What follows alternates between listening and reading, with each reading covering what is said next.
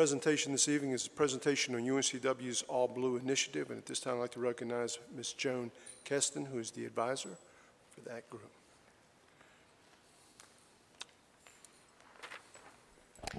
Uh, Good evening, and thank you for taking the time to listen to our presentation today. Uh, My name is Joan Keston. I'm an attorney and on the advisory board to the Alliance for a Blue Economy, which we refer to as All Blue. Over one and a half years ago, a group of volunteers from the university and the community met at the Center for Innovation and Entrepreneurship at UNCW, forming an initiative to grow and further develop the blue economy in the greater Wilmington area. Wilmington is uniquely situated to become a major global blue economy hub. You will see from today's presentation that the blue economy is much broader and essential than you probably realize. As leaders in our community, you need to know about our initiative and how this could be the greatest economic development strategy for Wilmington to date. Your awareness and support are critical for the blue economy and protection of our precious competitive advantage to become a major global blue economy hub. I would like to introduce other members with us today. Heather McWhorter will be doing the pre presentation. Heather is the interim director of the UNC Center for Innovation and Entrepreneurship and the regional director of the UNC Small Business and Technology Development Center. Heather is a licensed environmental engineer and has committed her career to serving entrepreneurs and innovators to advance regional communities and sustainability issues. Susan Bales is one of our impressive All Blue volunteers. She has a 30 plus year career as a forward thinking innovation practitioner in ocean science, engineering, and policy, both in the US and abroad, for both the federal and private sector agencies. Today, Susan is a mentor and executive coach to students, startups, and industry. She is well known for economic techno technical influence and diverse sections of the blue economy. Cordelia Norris is the owner and leader of a design, design firm called Luna Creative, which is a Wilmington, Wilmington-based firm focused on sustainability. She, you'll see all of her materials today in the presentation. It's, they're great. Also from the university tonight are Stuart Borrett, Associate Provost for Research and Innovation at UNCW, Kenneth Helanich, the Executive Director of the UNC Center for Marine Science, and Mark Lanier, Assistant to the Chancellor and Assistant Secretary to the UNC Board of Trustees. I have placed at each of your seats information seat, sheet as well as a press release about All Blue. Thank you very much. Thank you.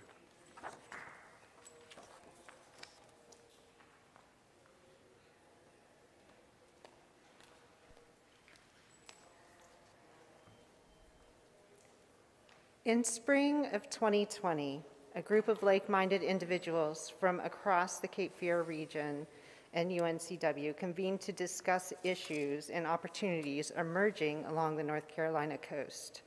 The discussions focused on the unique characteristics of our coastal area, our access to high-quality environments, productive estuaries that support fish and birds, clean water, and open areas that support quick recovery following storms.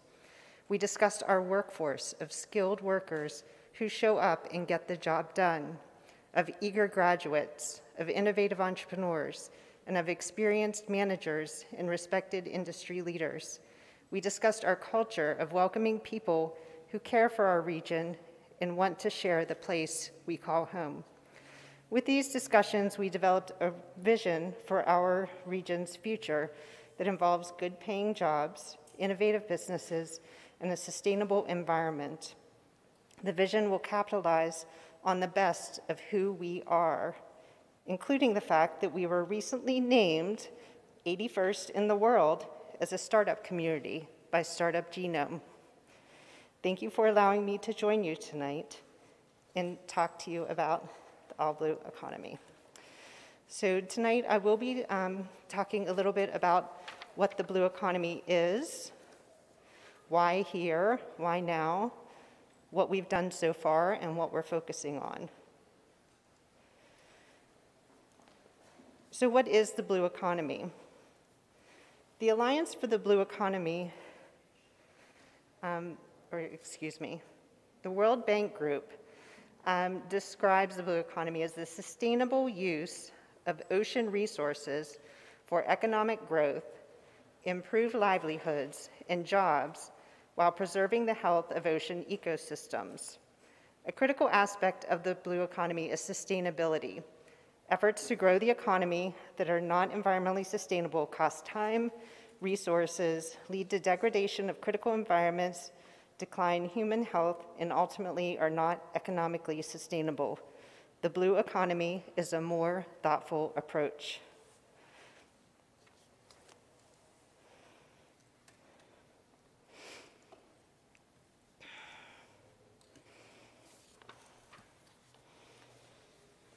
The Greater Wilmington region has more than just access to the coast as an asset. We have access to thriving waterways, tidal creek systems, an inland port, and the largest river system in the Carolinas. If you reside in Wilmington, on any given day, you have access to beaches, waterways, the ocean, the Gulf Stream, multiple river systems, and unique environments that help fuel the blue economy. These natural elements provide great opportunities for jobs in industry, but they can also provide challenges. The Cape Fear region is uniquely positioned to grow a world-class economy, and we need to make sure we do it in a sustainable way. The strengths of the region are clear. When you stand back and look at our region, you will see a university that focuses on marine science as well as business and entrepreneurship. You will see community colleges that are also focusing on marine technology and biotech. You will see the right infrastructure in place to make this initiative work.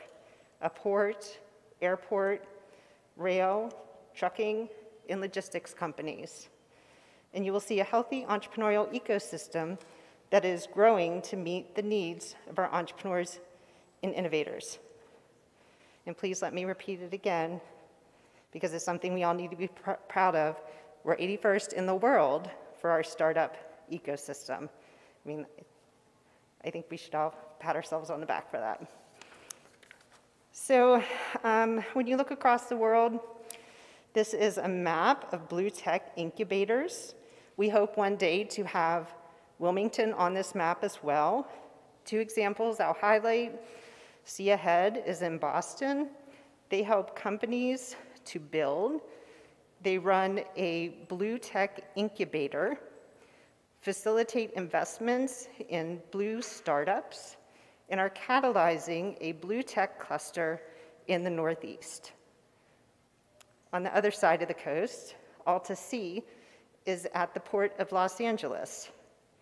They focus on accelerating scientific collaboration advancing an emerging blue economy through business innovation and job creation, and inspiring the next generation. There are many other examples of how communities are fostering the blue economy in their regions to start and grow blue tech businesses and to support their own vision of how to have a great future. As we continue to have conversations and decide how this initiative can shape our future, in the best ways, we can determine how to shape our own Blue Economy Initiative. Here's some, a few more data points for you, if you don't believe me yet. Um, according to their report, the Port of Wilmington contributes $13 billion to the North Carolina economy through the transport of goods and the jobs they support. Uh, in the middle there, in 2016, there were more than 13,000 ocean-related jobs in New Hanover County alone. And so I looked at census numbers, most recent 2019, we have 103,000 jobs in the county, so that means 13% of them are ocean-related. Finally, current estimates are that the ocean-based economy will grow from $1.5 trillion to $3 trillion by 2030. There's huge growth in this area and specifically in technology. We want our region to be prepared to meet this opportunity and claim a large portion of the expansion.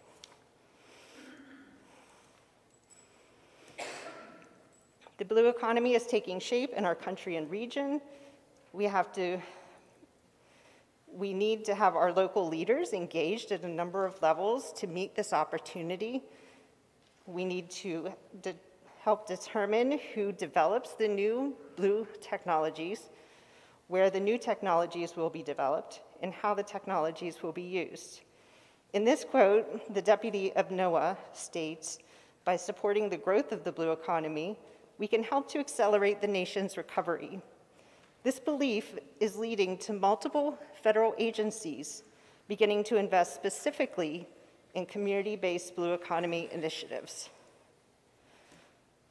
We have started by focusing on five sectors, but there is room for more expansion depending on the needs of our region. First, marine robotics. Uh, we're setting to embark on the development of sensors and technology development to support maritime shipping and more. Marine biopharma is the exploration for new medicines from marine environments. Sustainable aquaculture is growing and harvesting fish sustainably. According to the North Carolina Coastal Federation, the shellfish industry is just one sector that has reported an expansion growing from one to $5 million in the last five years. Sustainable tourism saves millions for the hospitality industry and protects the environment while supporting billions of input into the coastal economy. Finally, focusing on technologies and other improvements in coastal resiliency could save lives and save hundreds of million dollars in recovery costs. This, in a nutshell, is where we are focusing our energy. So regardless of the sector, this is our approach, this is our thought process, informed decision-making, focusing on leadership, engaging leadership, education. So we're thinking a lot about carrying what we know back to STEM and educating our youth, engaging the community, and engaging, of course, building the right infrastructure for economic development. So even though we're only a little bit more than a year in, we've had some early wins already. Um, and they're listed here. I do want to pause because um, I saw here the, the third bullet is the North Carolina A&T partnership that UNCW has um, that our Center for Innovation Entrepreneurship envisioned. On Monday during Cape Fear Minority Enterprise Development Week, we had a session on minorities in marine science and ocean entrepreneurship.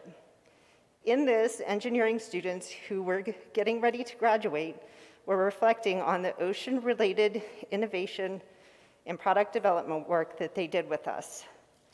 During the session, the students admitted that they now understand that instead of starting, say, a service business, they could start an ocean-related technology business someday. This transformation on the next generation of our leaders is remarkable. We need to continue this entrepreneurial mindset thought process throughout our citizens to look for opportunities for all to prosper. Also, if you missed that session, it will be on the Cape Fear MedWeek Facebook page.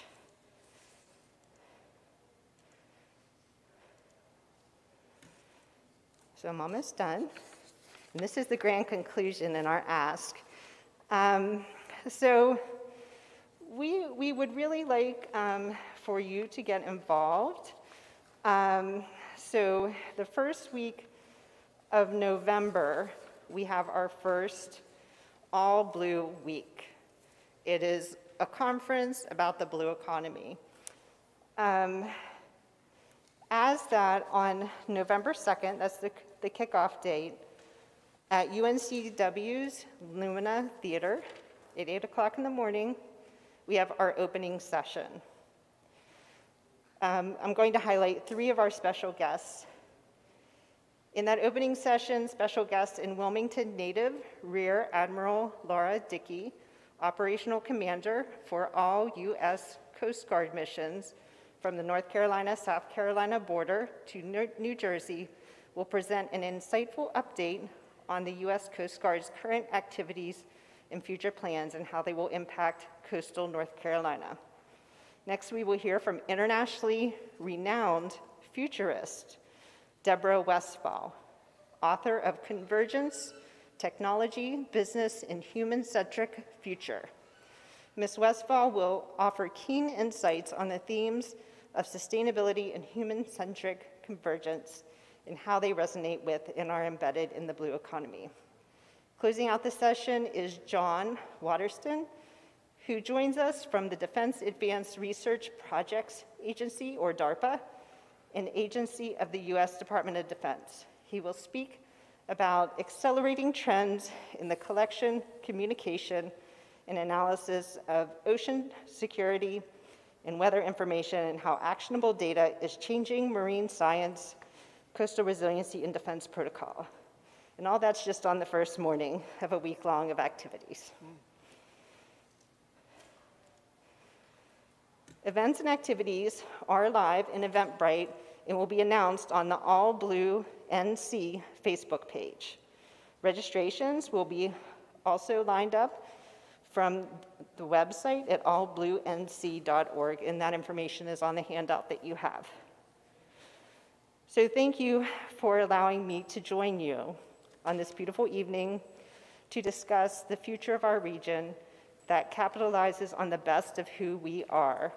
You heard about a vision of our region's future that involves good-paying jobs, innovative businesses, and a sustainable environment. My name is Heather McWhorter, and I am from the UNCW Center for Innovation and Entrepreneurship, and I hope you can join us on November 2nd. It's very interesting, and I just want to say thank you for the collaboration between the university and the city of Wilmington through its uh, Center for Innovation and Entrepreneurship, and I'm just glad to see that the- a a lot of focus is going to be on our blue economy, especially our oceans and estuaries, and that is something that uh, I feel that we can generate a lot of business. I know that you folks do a lot of great work over there, a lot of research, uh, and and it produced a lot of different things over the years. But to see this be ramped up to that we can create jobs and, uh, and, and businesses here is even, even greater. And it's something that uh, I'm glad to see this is the direction that university and the, hon- and the, and the uh, center is going. I think it makes a lot of sense. And we definitely want to be at the table and be supportive of the initiative because I think it's got a lot of merit and can produce a lot of good paying jobs for our community and for our citizens. So thank you very you. much. Thank Thank you you. very much. Yes, uh, Councilmember Barnett? Yeah. Yes. Um, You mentioned that you're going to um, get involved with STEM.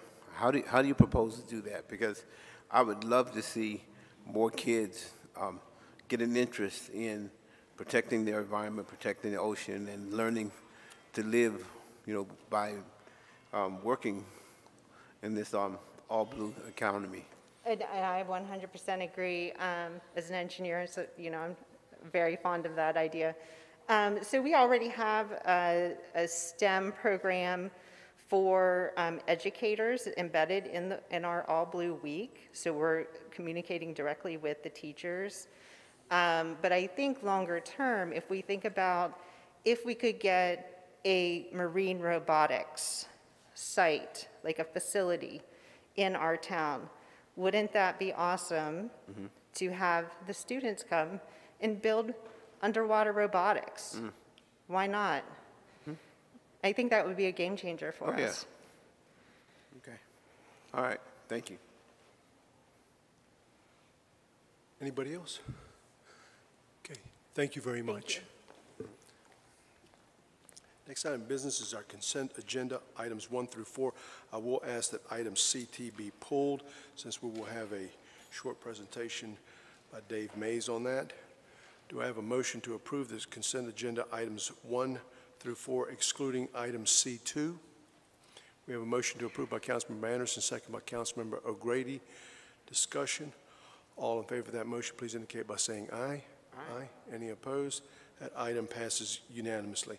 At this time, I'm going to ask for Dave Mays uh, to come up and talk about resolution approving the contract for annual needs streets rehabilitation program throughout the city's streets network to Highland Paving Company of Fayetteville in the amount of $6,123,858, and of course, 55 cents. Dave, the floor is yours. Good evening, Mayor and Council.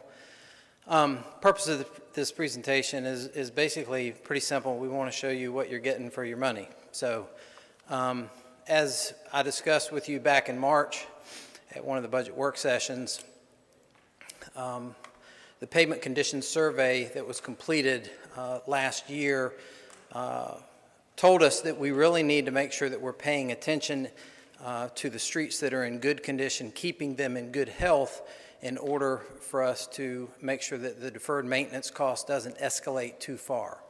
So the first two tools that I'm going to talk about with you are exactly that. These are tools that we will implement with this contract to make sure that those healthy streets uh, stay healthy for much longer. The first one is, uh, under pavement preservation, is, is rejuvenation. We like to refer that, uh, refer to that as uh, basically applying sunscreen to asphalt. It helps um, keep the, uh, the, the moisture from infiltrating into the pavement section, which causes damage to asphalt. Uh, as you can see on the screen, uh, based on our, the bid price that we got, we'll be, we'll be able to apply that for $1.50 a square yard. That's very affordable uh, for street maintenance. We have identified 82 lane miles within the city based on the criteria that um, these are streets that we have officially accepted through uh, the development process since 2016, and also streets that we have recently resurfaced ourselves, either through in-house or contract methods. Uh, Most of these streets would have a, a- an existing or current pavement condition index uh, above 70. So they're in good shape, and uh, again, this is uh, intended to keep them in good shape.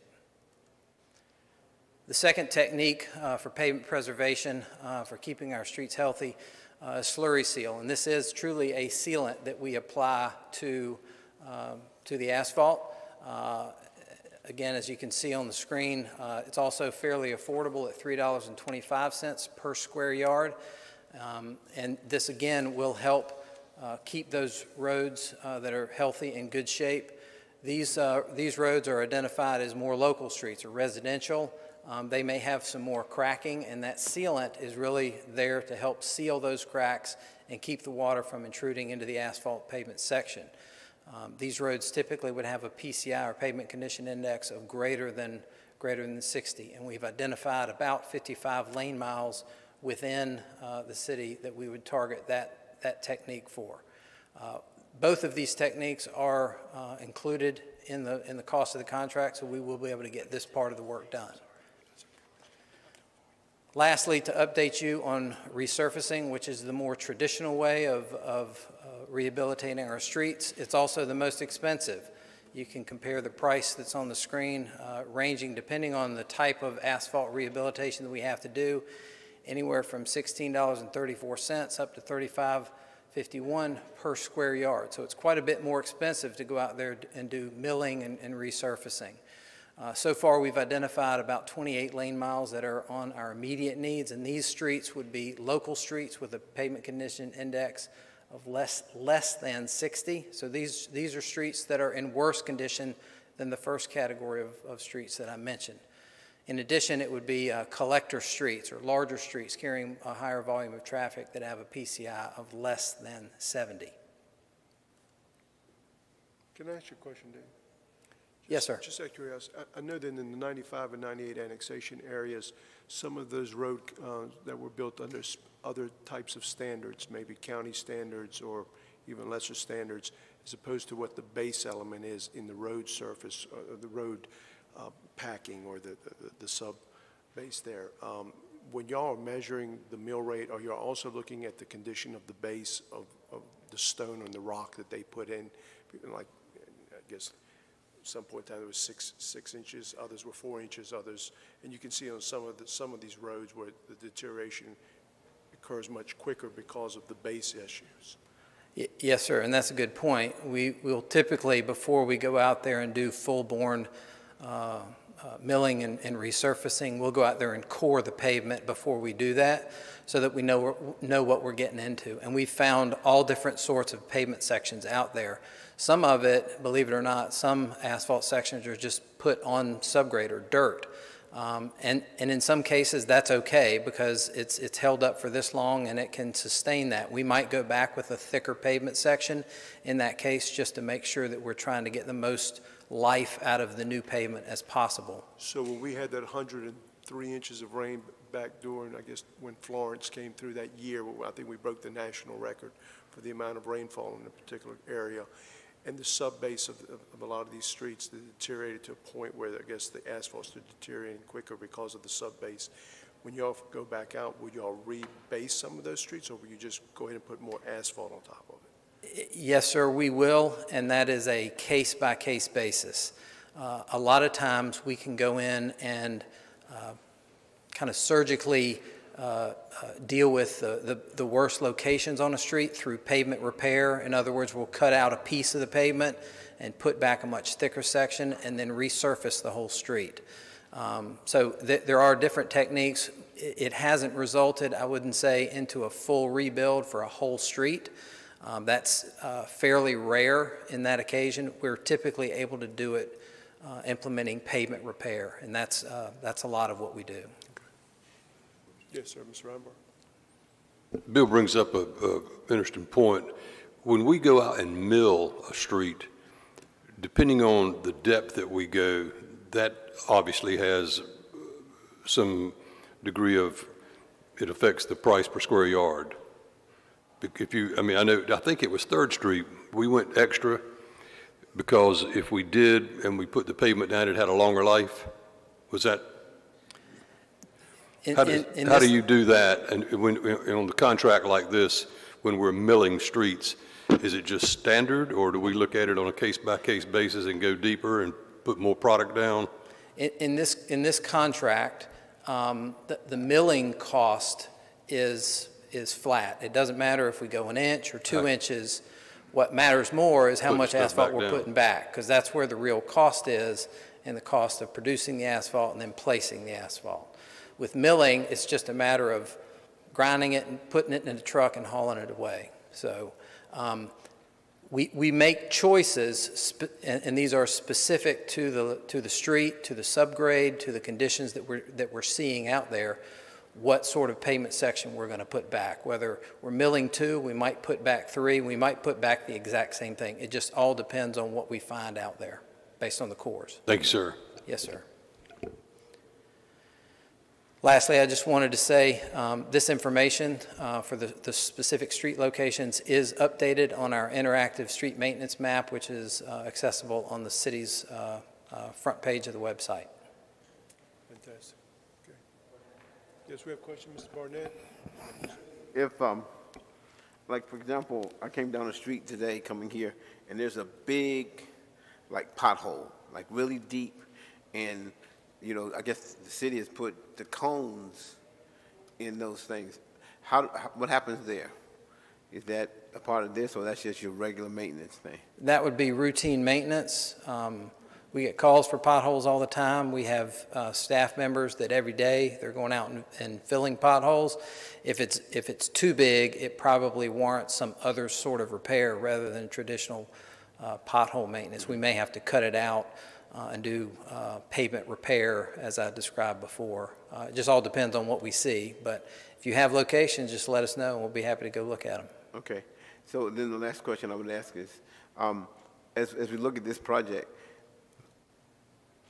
what would you say to like citizens who may think, because when you said that the first part is to fix roads that are already pretty good, and then the second piece is to fix roads that are not as good as the first road, and then the last is to fix those roads that are really bad.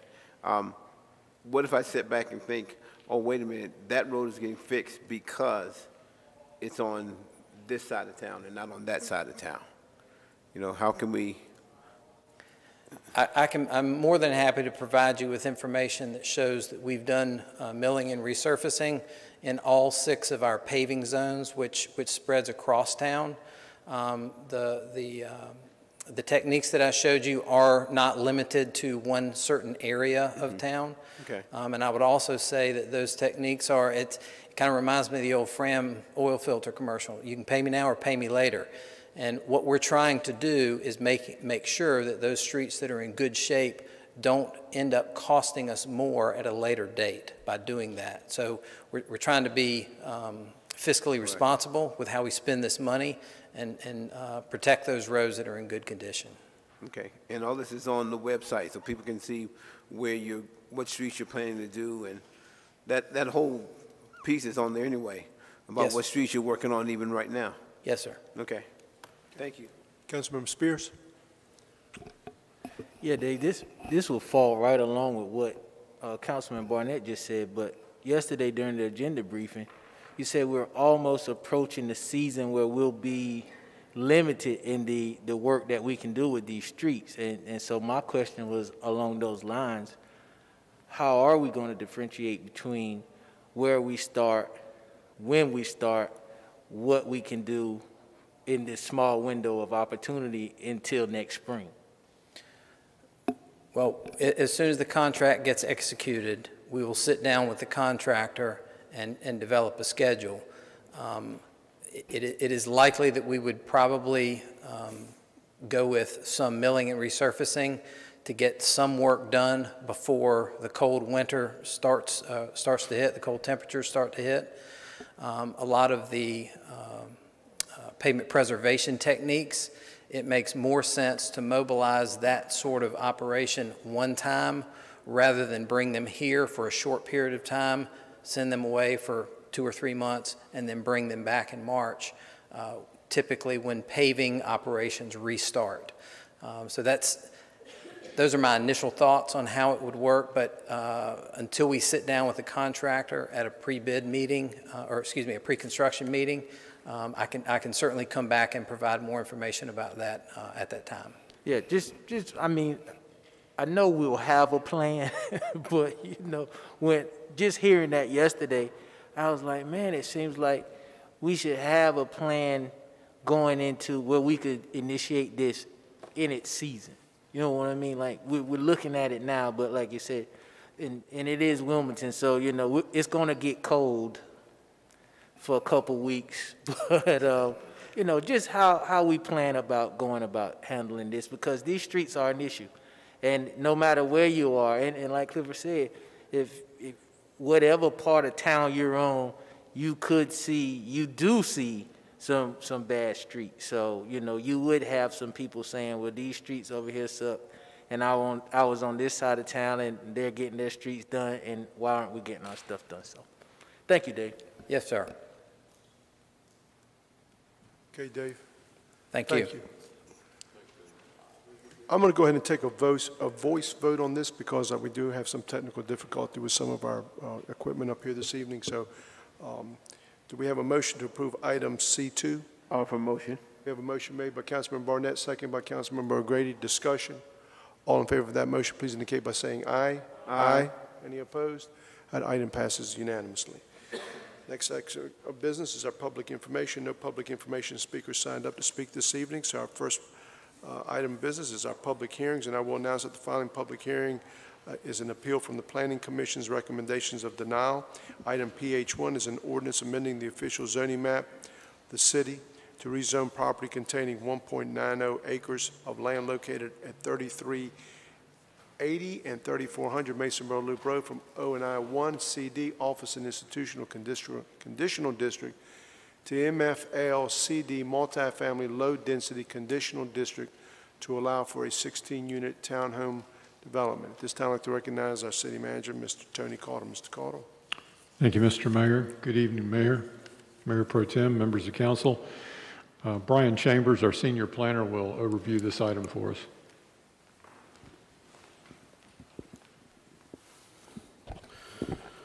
Good evening, Mr. Mayor, members of council.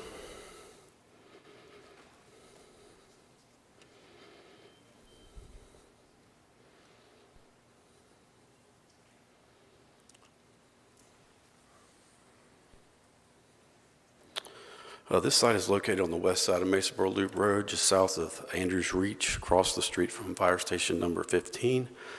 Uh, It's approximately 1.9 acres in size, and it's currently vacant. Uh, This is a map that shows you uh, the site within the context of the surrounding area. And then I have some photos from the subject property as well as adjacent properties. Uh, This is looking up and across Masonboro Loop Road. Uh, The bottom left will be the courtyard at Masonboro, um, which is to the northeast, and then again, there's the fire station across the street. Um, We have a couple photos of the subject property and then uh, single-family homes to the south and north, and then the townhomes that are directly across the street behind the courtyard. In August of 2018, council rezoned the subject property from R15 to O&I conditional district for a commercial district mixed-use project containing two office structures and five residential units. In September of 2020, council approved a modification to that conditional district to amend the building elevations and modify a zoning condition that prohibited amplified music. Uh, This is the current site plan that is approved for this site. Um, Each office building was approved for 2,400 square feet of non-residential on the ground floor, and two residential, residential units above each, and then a fifth residential unit was approved above a detached garage in the back. Uh, The uses were limited to professional offices and personal services. Uh, This is the proposed site plan. The applicant proposes to rezone this property from O&I 1 to a multifamily low-density conditional district for a 16-unit townhome development. Uh, Following Planning Commission, the applicant did submit revised plans and elevations that included a reduced building height and enhanced enhanced buffer yard plantings to the north and south. Those enhanced plantings are what's uh, kind of bubbled, bubbled in on the northern south uh, property boundaries of the plan you have on the screen. Uh, This site would be accessed by full access driveway on Mason Loop Road. Uh, We'll note that Mason Loop Road is currently operating above its design capacity, and this rezoning would result in an increase in estimated vehicle trips. Uh, The applicant has included options to mitigate the impact of this proposed zoning, um, and those, um, those options are outlined in attachment seven in the staff report. Uh, There is an approved trail project along Masonboro Loop Road, which includes curb and gutter along the west side of Mason Loop Road and extends a multi-use path from Andrews Reach to Navajo Trail. Uh, The proposed density and impervious of this uh, project requires the standards for exceptional design to be met. Uh, The applicant has accepted a narr- uh, presented a narrative that does show compliance with these standards, and that's included as attachment eight. A minimum 20-foot wide buffer will be required adjacent to the single-family homes. And then uh, they are proposing to, to save all of the existing significant trees, which includes two 38-inch oaks, a 32 and a 48-inch pecan, and a 60-inch oak. And those are shown on the screen.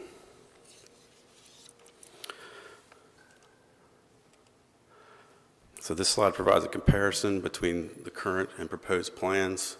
It outlines the building height, residential units, commercial square footage of each project, the parking spaces provided, and the impervious coverage.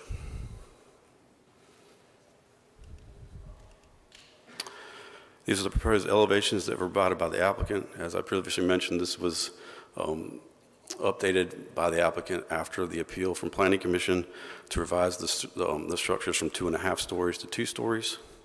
Uh, These proposed elevations are similar in design to those townhomes that I showed previously across the street behind the courtyard. The property is located across the street from an established neighborhood node as identified in our comp plan. The comprehensive plan calls for development with existing neighborhoods to be consistent with the design elements of nearby structures and enhance the overall character of the area. There are a number of non-residential uses, including a fire station, shopping center with restaurants, retails, and services located across the street. The proposed rezoning may serve as a compatible transition between this commercial area and the existing low-density residential uses surrounding it. Staff believe this proposed zoning is generally consistent with our comprehensive plan and the city's adopted focus areas, and staff believes the request is reasonable and the public interest is recommending approval. I'd be happy to answer any questions you have, and I believe the staff, uh, the applicant is prepared to make a presentation as well. Are there any questions of Mr. Chambers? Okay, thank Thank you, you. Mr. Chambers. This time I'd like to recognize the applicant.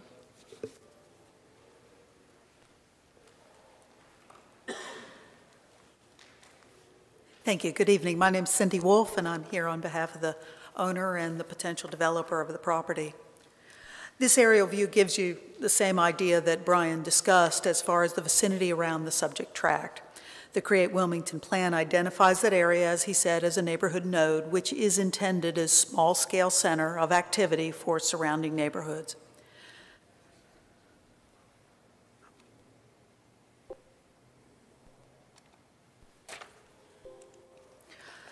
I know you've received several emails concerning the proposed project, and many of them have voiced general opposition over the development of the parcel altogether, and that happens.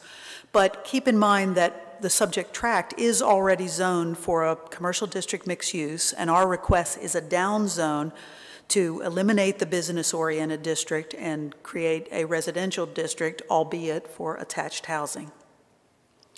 This is the site plan that Brian showed, conditioned to the property today, and it can be developed with the offices, personal services, and five apartments. As a little bit of history, this was in 2018, and the current owner at that time purchased the property with the desire to use it as both her home and her office as a residential real estate agent. She added more space than just her needs, but it was certainly a modest plan for the overall acreage. We talked about future expansion to the rear, but at the time she decided she wanted to get what she needed, and so this plan was enough at the, that point in time.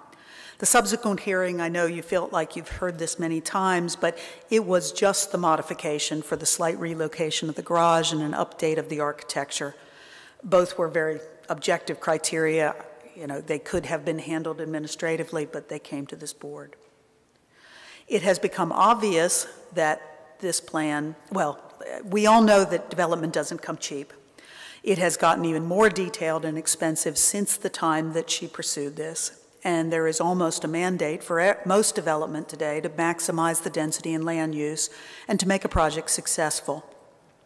Ms. Drury quickly, I'm sorry, quickly realized that the costs of this development were going to be prohibitive for her. Then comes along COVID, and the need for office rental space has changed altogether. It has become obvious that this plan is not feasible for her, and it has not proved feasible for anyone else. This is the proposed plan for 16 single-family, individually owned, attached townhomes. They're different in groupings to avoid monotony of the aesthetics. It is only 8.8 units per acre, certainly not what would be considered high density in any way. The developer wants to provide an upscale housing style of 16 to 1800 square feet with a garage, selling in the 400,000 price range. All of the significant trees on the site have been worked into the layout, and their preservation is a condition of approval. Permitting for construction around them will absolutely have the oversight of the TRC and the city arborist. The graphic sizing of the tree symbols that I've used on this exhibit are consistent with their actual canopies, and for so much for allowing adequate separation from the new surfaces and the overall protection of them. There's abundant green space and common area around the site coordinated with those trees. The units have also been oriented such that the sides of the homes are what face the adjacent residential properties and not the front or back where you usually find your balconies or porches. The frontage uh, structures along Masonboro Road continue to address the frontage and have entries and porches along them. I know there, quest- there were questions at the agenda briefing as to the consistency of what the Planning Commission reviewed and what we have in front of you, our appeal. With the exception of the enhanced buffer plantings at both the north and south boundaries on this, this is the exact site plan. So there isn't a lot of change to what they saw to what you saw. The primary change is on this plan is the buffer yards, and then we'll discuss the height situation. The frontage structure, oh, I'm sorry. The prevalent topic of discussion at that meeting was the height of the buildings, which were proposed at that time at two and a half stories and up to 35 feet. We felt at that time that we had a valid justification for the proposal because just across the street you have Jasper Place townhomes with a very similar design of that two and a half stories. This was our proposed elevation at the time of that hearing. Likewise, the adjacent residential community of Andrews Reach has homes that are single family and on larger lots, but the quality of their architectural design yielded raised foundations, high interior ceilings on dual floors, and steep, steep roof pitches. Maximum height in the R15 district is 35 feet, which is technically measured at the mean of the highest roof pitch, I'm sure all of these houses are compliant with that criteria, but I don't doubt that some of the peaks are well in excess of the same 35 feet that we had proposed.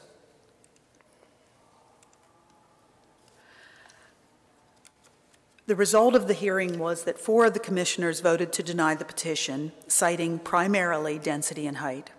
However, three of them felt that the adequacy, the adjacency of different housing styles is not a new concept, and agreed with the staff recommendation for approval that this petition was consistent with the policies and strategies of the Create Wilmington vision. Regardless, we heard what was being said, and in our appeal to you, we have reduced the floor areas, lowered the building heights to two-story, and enhanced the buffer yards. These are the proposed elevations now, and the maximum height is conditioned to 26 feet. The Create Wilmington Comprehensive Land Use Plan includes a wealth of policies to direct future growth of the city and fully acknowledges the importance of infill development. Meanwhile, the housing, shortage in our area has been well documented, and interestingly enough, the 2021 Housing Needs Assessment for our area shows the housing gap in for sale homes at the 296,000 um, range as the greatest deficit. This is the targeted market of this project. Impact on adjoining properties is always a point of discussion, and points obviously vary. There is over 100 feet between the side of proposed Unit 7, I guess you can't see that, and the closest existing Andrews Reach home. The separation of Unit 6 is over 160 feet. You can see that the pads of those adjacent duplexes are smaller than the footprints of those single-family homes.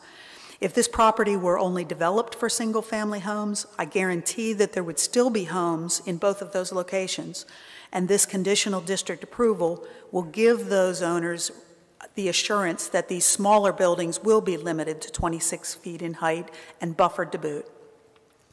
The separation along the southern boundary is less at roughly 55 feet, but keep in mind that the current plan, we're replacing a two-story garage with extended height for the RV with a residential unit above that would have had much more visibility towards that southern property. The same holds true there for the limited height and the buffering being guaranteed with this conditional district. Protection of the environment and stormwater management requirements are no different than those for the already approved plan. Soils testing has already been completed to, for infiltration at the rear of the tract, and mitigation of any impervious surfaces beyond the 25 feet, um, 25%, I'm sorry, will still be addressed by low-impact design features for envi- environmental sensitivity to the watershed resource. The same regulations and technical standards apply to all projects in our city, such that post-development runoff must be maintained to pre-development condition. These rules are in place for the protection of adjacent properties. I believe you've also heard opposition based on traffic, and any development near to a school, especially an elementary school, has to endure issues uh, with drop-off and pickup when parents opt out of the busing provided. The case summary shows that the difference between the existing plan's mixed uses and those of the 16 townhome units are only two additional trips in the morning and five in the afternoon. The overall trips for the entire 24-hour day are estimated to be less than a tenth of a percent of the traffic capacity of Masonboro Loop Road, a minimal impact, if at all. Our driveway certainly poses no impact to the Andrews Reach residents being downstream of their intersection. In closing, we believe that the staff summary more than adequately summarizes in their consistency section that there is an overwhelming consistency of the proposed project to the city's adopted plans, policies, and strategies for the future. I don't believe there is any discernible impacts to adjacent properties that have not now been addressed, and we believe that there are overall benefits to the community as a whole as what we look for when we're evaluating these conditional districts for their consistency to the land use plan. I'd be happy to answer any questions you have. Are there any questions for the applicant? Yes, Mr. Barnett? Would you go back to the slide that had the one, I think it was 121% um, housing need? Yeah, that was. And now, did I understand you to say that these houses will fall into this category? At what my developer has said, his price range is in the 350 to 400,000. Yes, this is um, the 296 plus as home prices. Okay. All right, because I know I heard 400,000, and that's what kind of threw me off a little bit. But now I see the plus. I didn't see the plus at first. Okay, Ms. Anderson? Cindy, just to clarify, so it's, as I read, I believe it's the, the, the site itself is around forty-two percent pervious, and so the, the, the delta to twenty-five will be pervious pavement. is that right? Not, uh, there are a variety of things. The coverage is right now at 42%. That doesn't apply to any pervious surfaces yet. Um, When the engineer does their, does their plan, their permitting and their detailed design, there are a variety of things. Pervious concrete is absolutely one of them.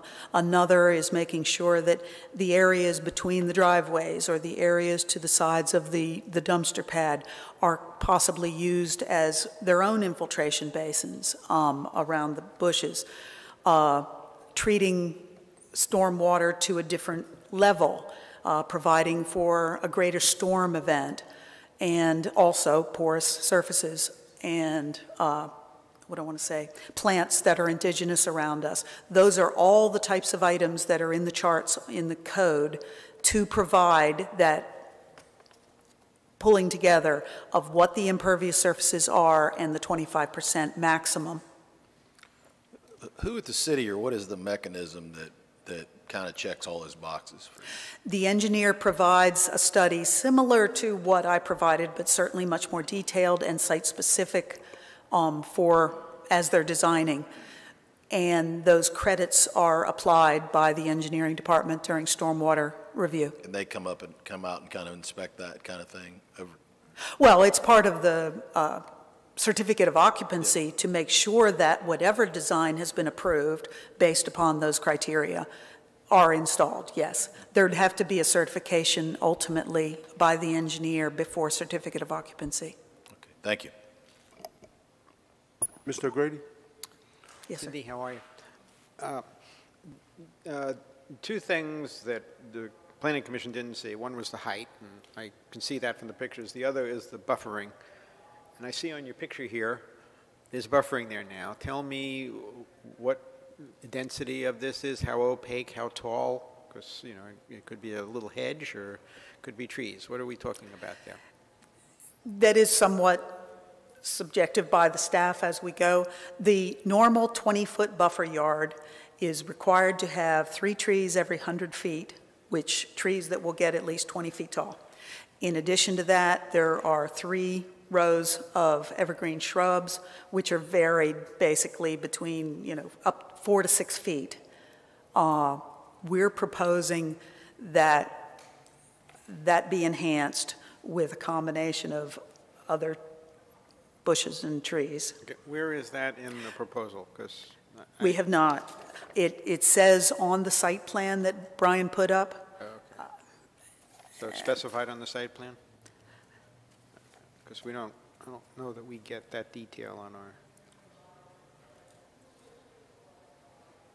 You don't mind if I chime in here? The, the site plan that was submitted um, as an update after Planning Commission included the enhanced buffer yard that it had, um, I believe, Leyland cypress at 16 feet on center across that whole property line. so to add to the existing buffer, or the buffer yard that's required by the code, adding Leyland cypress so that something like that, which is fast-growing and gets up over 20 feet tall, will provide visual separation. And what else besides the cypress trees? What else? The usual buffer yard would be some type of shade tree and evergreen shrubs. And their separation depends on the type of shrub and how large they grow as far as their, uh, the width of them. But the leyland cypress supplementing that will basically provide a continuous buffer at a higher height than is required now. And they grow fast. Okay, thank you. Councilmember Spears?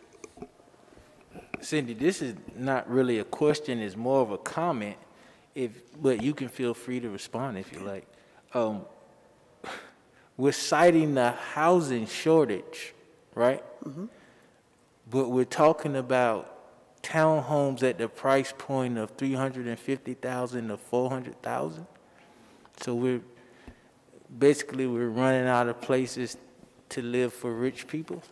Absolutely. That's what our housing if that housing study that the city contracted showed an overall deficit of housing for our entire city, and absolutely, there are um, not only, I mean, they're in all categories, right there at the 74,000 to 123,000, there are a deficit of at least 862. Now, how they cri- created that criteria, uh, they're the experts, but there are deficits in all of the categories in our town for the people moving in.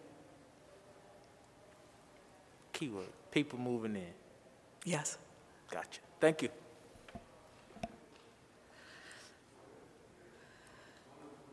And so that was, was shared at the um, Housing Committee was that the idea of when you build houses that people can afford at, like, say, the $400 rate, that kind of opens the barrel for those who are like one less down to move up, you know? So it really, in the, in the long run, it's helping everybody because, the- as you mentioned, the housing deficit is across the board. It really is across the board. So, um, okay. But I just wanted to share that. Anybody else? Thank you very much. Thank you.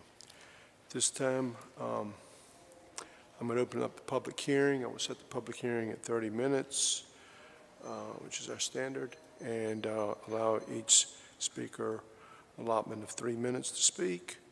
If you need more, we will work on that. And so I will uh, ask for the first speaker to speak and state your name and where you live for the record.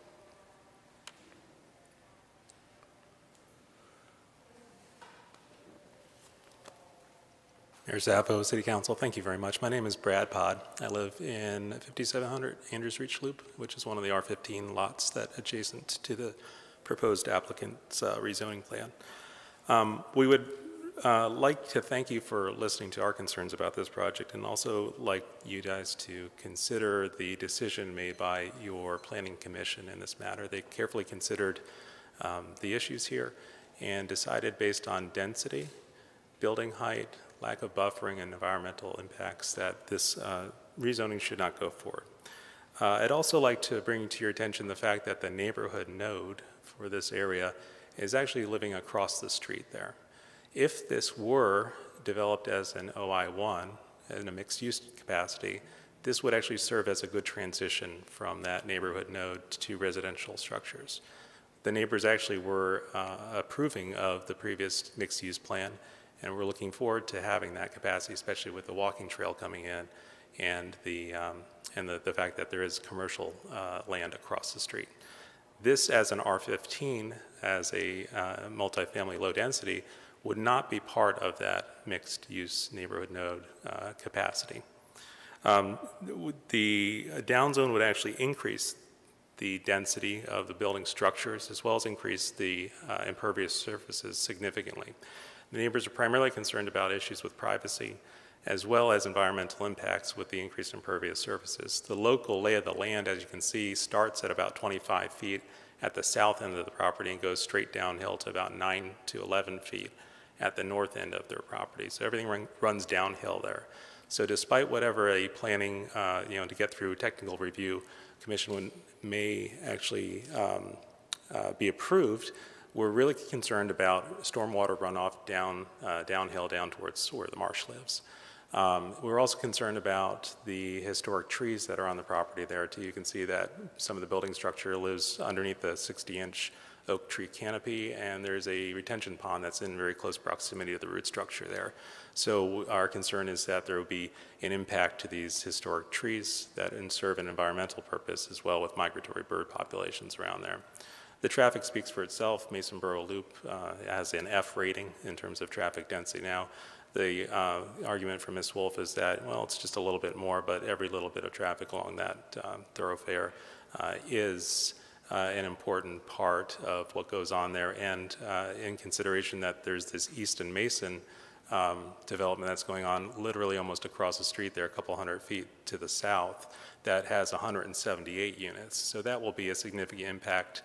The traffic uh, study that was cited did not take into account the new development that's going to be, uh, you know, 800 feet to the south that has about 200 units. Um, So what we would conclude is, or ask uh, the city council is to uh, reject this appeal, to send it back to planning commission.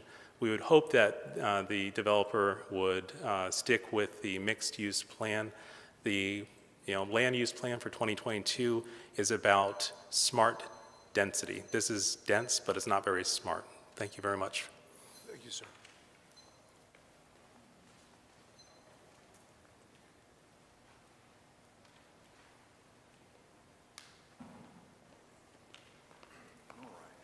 I'm, I'm Glenn George. I have the tract of land that's right beside it, the largest piece.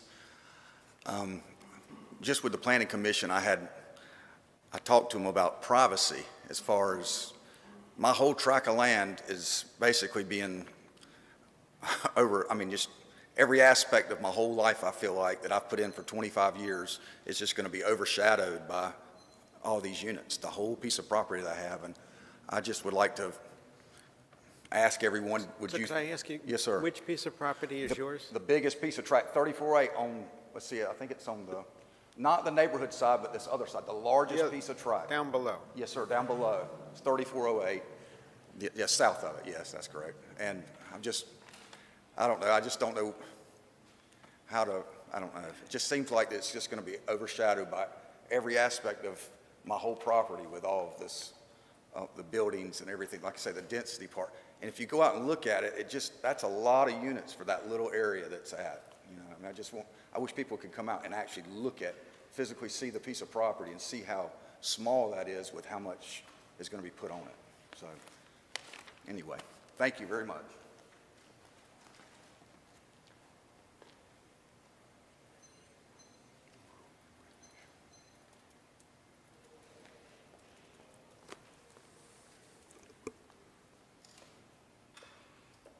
Okay, good evening. Um, My name is Sarah Williamson, and I'm just going to read, if that's okay, from my phone. Thank you again for letting us speak and hear our concerns. I reside at 5413 Andrews Reach, which is one of the four properties um, aligning the empty lots. And I apologize, more of us couldn't be here, but six out of the eight of the adjacent adjacent homeowners are healthcare providers that have had a pretty tough year and a half. It was a little challenging to break our night schedules, but here we are, and this is important to us. I am speaking out tonight strongly opposing the proposal of the multifamily, low-density residential townhome development that will sit directly in my backyard. As I said last month, we understood when we purchased our home five years ago, the land behind our house was going to be developed. The difference in single-family homes or the current mixed-use plan in 16 townhomes is far from a similar development, as it was suggested by one of the commissioners at the closing of last month's meeting. Before supporting this overdevelopment, I urge you to try to take a left out of our neighborhood. This is nearly impossible. Two things to add to this. One, Beasley Road has the identical problem with near miss accidents every day. The new development, as Brad stated, um, Easton Mason, directly across from Bradley Road, uh, Bradley, Bradley Road, will, will add 170 new families to this problem very soon. These traffic problem areas um, lie only a couple hundred feet at most from this proposed development. And two, because of the incline the, the lots sit on, there is a blind spot from anywhere you try to pull out from, and that incoming traffic is going 45 miles an hour. As stated before, I cannot emphasize enough the hazardous grade F conditions Masonboro Loop Road currently possesses. As I mentioned before, the Cross City Trail in the design phase has been promised to neighbors in our community for years. For some, their children were in kindergarten and are now in high school. The Cross City Trail cannot realistically be a factor in decreasing any vehicular concerns. Another issue I would like to call to your attention is light pollution. Obviously, the more units built, the more light negative, negatively emits. I also welcome you to stand in my backyard to have a better understanding of the view. This, again, in my opinion, will contribute to more overdevelopment issues and certainly different than the original plan for multi use or the prior plan for single family homes. In closing, Even with the increase in buffer and the decrease in height, ultimately the footprint of the new proposal has not changed, and that is our biggest concern. There is still a drastic increase in impervious surfaces, a major increase in traffic flow, and most certainly multiple negative environmental impacts. So on behalf of Andrews Reach neighborhood, please again reject the overdevelopment of this piece of land and consider keeping the development residential or the current mixed-use plan. Thank you.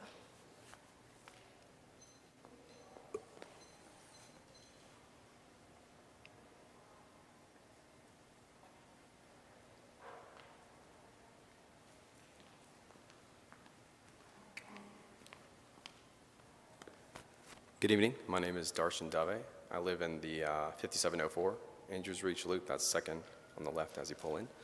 Um, so uh, again, supporting my neighbors here and to reiter- reiterate some of their points. Uh, number one, I think it is important to take into consideration the you know, original decision by the uh, Planning Commission because clearly there weren't uh, compelling enough reasons to, to change uh, you know, the original plans that, as Brad had mentioned, we may have been hesitant to support initially with the mixed use, but eventually we sort of grew to, to look forward to, as Sarah had mentioned. Uh, I think there is an argument to be made that the, the lot itself that we're talking about isn't directly part of our neighborhood node. Again, as Brad had mentioned, the commercial uh, properties are across the street, uh, which we support often by walking across a very busy intersection, which is only going to be worsened as from some of the arguments you've just heard. Um, again, traffic, morning drop-off pickups for our kids down the street to the school, uh, those, those are big challenges here. Um, I, I, would make the argument that uh, this is, you know, considered, I would think, you know, higher density when we're talking about 16 units versus the original five uh, units from the uh, original plan. Um, the other things to consider, uh, which uh, were, were, discussed earlier, include setbacks from the property, privacy being serious concerns. if you think about as Brad had mentioned, the elevation of the property somewhere around 10 feet higher. Add 25 to that, you're talking about 35 plus feet in height. Uh, you know, we have small children. Uh, safety is always an issue, uh, a big concern of ours. Um, additionally, as we had mentioned, environmental impact downhill from the property, draining, flooding, uh, other issues with a retention pod, uh, excuse me, retention pond, uh, an already very challenging mosquito uh, population, that would probably worsen as well. Um, that's another uh, consideration. Uh, another thing to, to point out, there was an earlier uh, meeting several months ago with the developer, the out-of-town developer, I should say. They were not really aware of the surrounding area. they didn't really know there was a fire station nearby, elementary school down the street.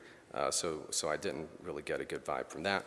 Um, so in closing, again, I ask that you, that you all uh, respectfully uh, consider the, the recent decision uh, that was made, uh, considering the now, I think it is maybe the fourth iteration of this development proposal uh, for, for the property. Yes, I understand development is uh, likely and probably necessary in that area, but we have to ask ourselves, you know, what makes the most sense and what environmental cost would be incurred when we're considering higher den density housing.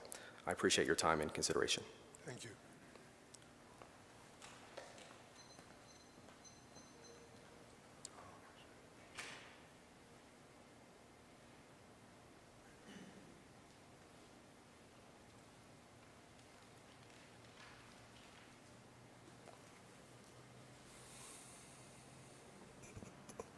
Madam Clerk, have you uh, received any additional comments?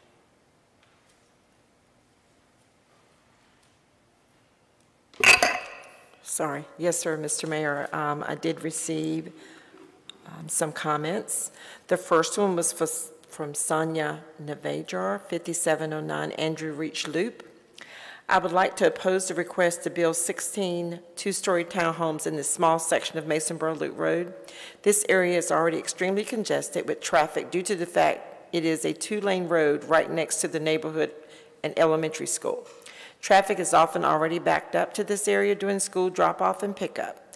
There's a fire station directly across the street, and I'm sure they would agree that the last thing we need is more congested two-lane roads.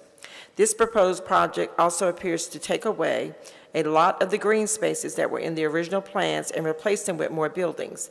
This will likely create increased drainage issues to our neighborhood that is right next to this space. I strongly urge you to consider these points before approving such a huge density proposal. Thank you. The next one is from James Williams, 5509 Andrew Reach Road. I'm writing in opposition to the request to rezone 3380 and 3400 Masonboro Loop Road from O&I CD to MFCD. I'm a resident of the Andrew Reach neighborhood adjacent to this track. I would urge you to consider the argument that this is some way is a natural progression from the commercial nod at the intersection of Masonboro Loop and Masonboro Sound Roads. If you take a moment to examine the GIS map of the area, you will see that the lands on the western side of Masonboro Loop Road in the vicinity of the proposed project are zone R15. But for a church and Masonboro Elementary School, this is the case until you reach the Navajo Trail intersection to the south. The subject track is perfectly suitable for an R15 development. It is not the proper location for a high-density MF development. The track is surrounded by R15 development. To argue that it is some natural progression from the commercial node across the street is a red herring simply meant to make it easier for you to accede to the developer's request. There is no sound basis on which to approve this request and to place high density directly in the middle of an area exclusively zoned R15. We and Andrew Reach were comfortable with the earlier proposal of Ms. Virginia to rezone this tract to O&I CD. She had proposed a much less dense use with significantly greater setbacks along our common boundaries. There were significant conditions placed on the uses that made her plan workable despite the fact that the adjoining tracts were all R15. Lastly, I would like to add to the cries for real effort to remedy traffic in the city. Masonboro Loop is functioning at an F rating already. Two projects currently under development, which will add thousands of trips per day, have not even opened yet. Please don't add to it with another high-density development. Thank you for your careful consideration. Ashan, uh, uh, 5412 Andrew Reach Loop. I am writing in strong opposition to the proposed two-story, 16-unit condominium complex on Masonboro Loop Road next to Andrew Reach Development and opposed to the and opposite of the fire station. My concerns are magnified, including the impacts on traffic, hardscaping, and land and resulting impacts of stormwater management, water retention, and insect problems. With schools on Masonboro Loop Road and existing residential and commercial developments, the traffic on these two lane roads is already horrible and more construction is already permitted. The traffic impact is downright scary. Kids from Andrew Reach and other neighborhoods walk to Parsley Elementary, and traffic is already horrible with schools. The school systems are already beyond breaking points, and this neighborhood only adds to the problem. While I'm open to a low-density development on the road like single-family homes, I am strongly opposed to this development for the above-mentioned reasons. Thank you.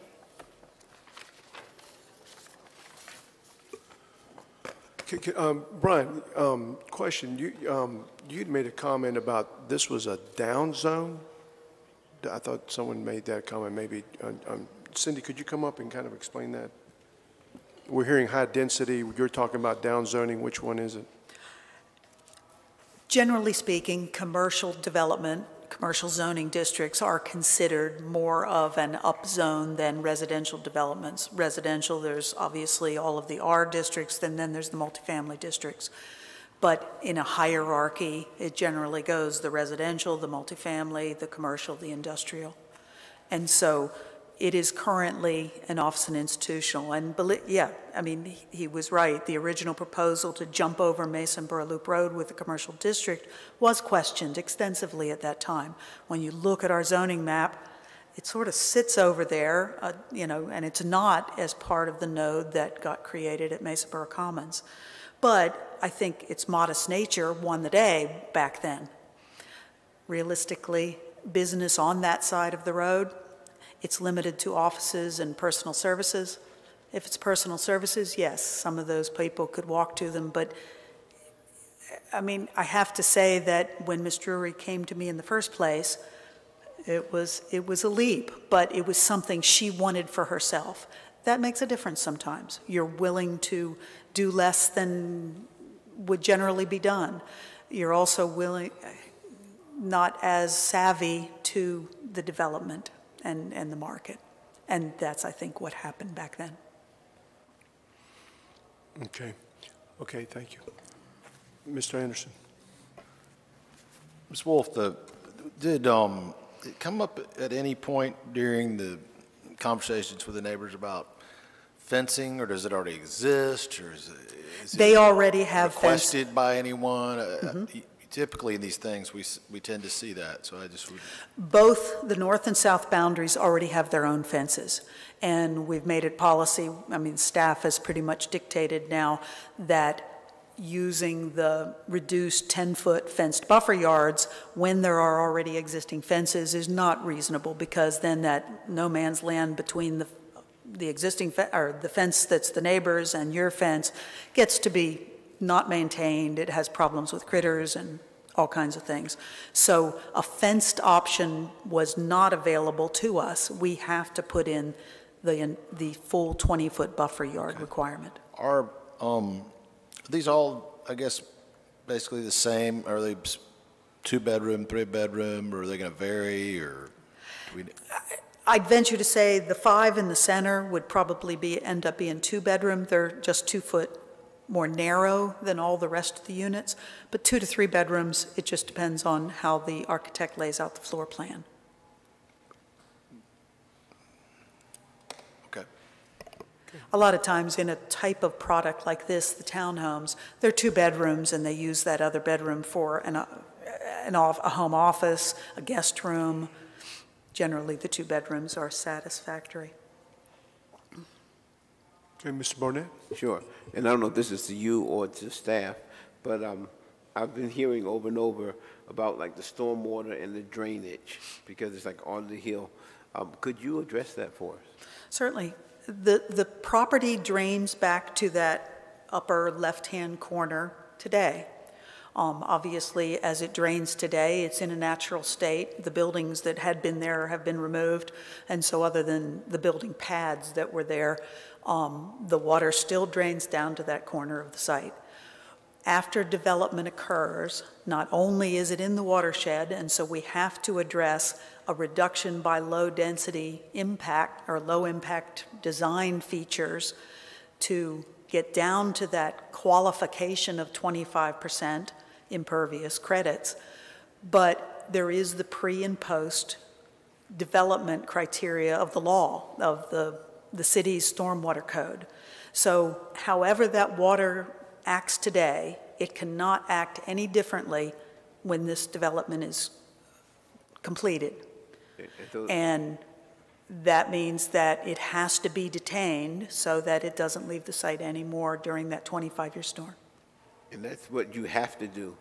That's correct. All the permitting, before they can put a shovel in the ground, that stormwater permitting through both the city and they handle the state's water quality control, and that's the environmental aspect of it all.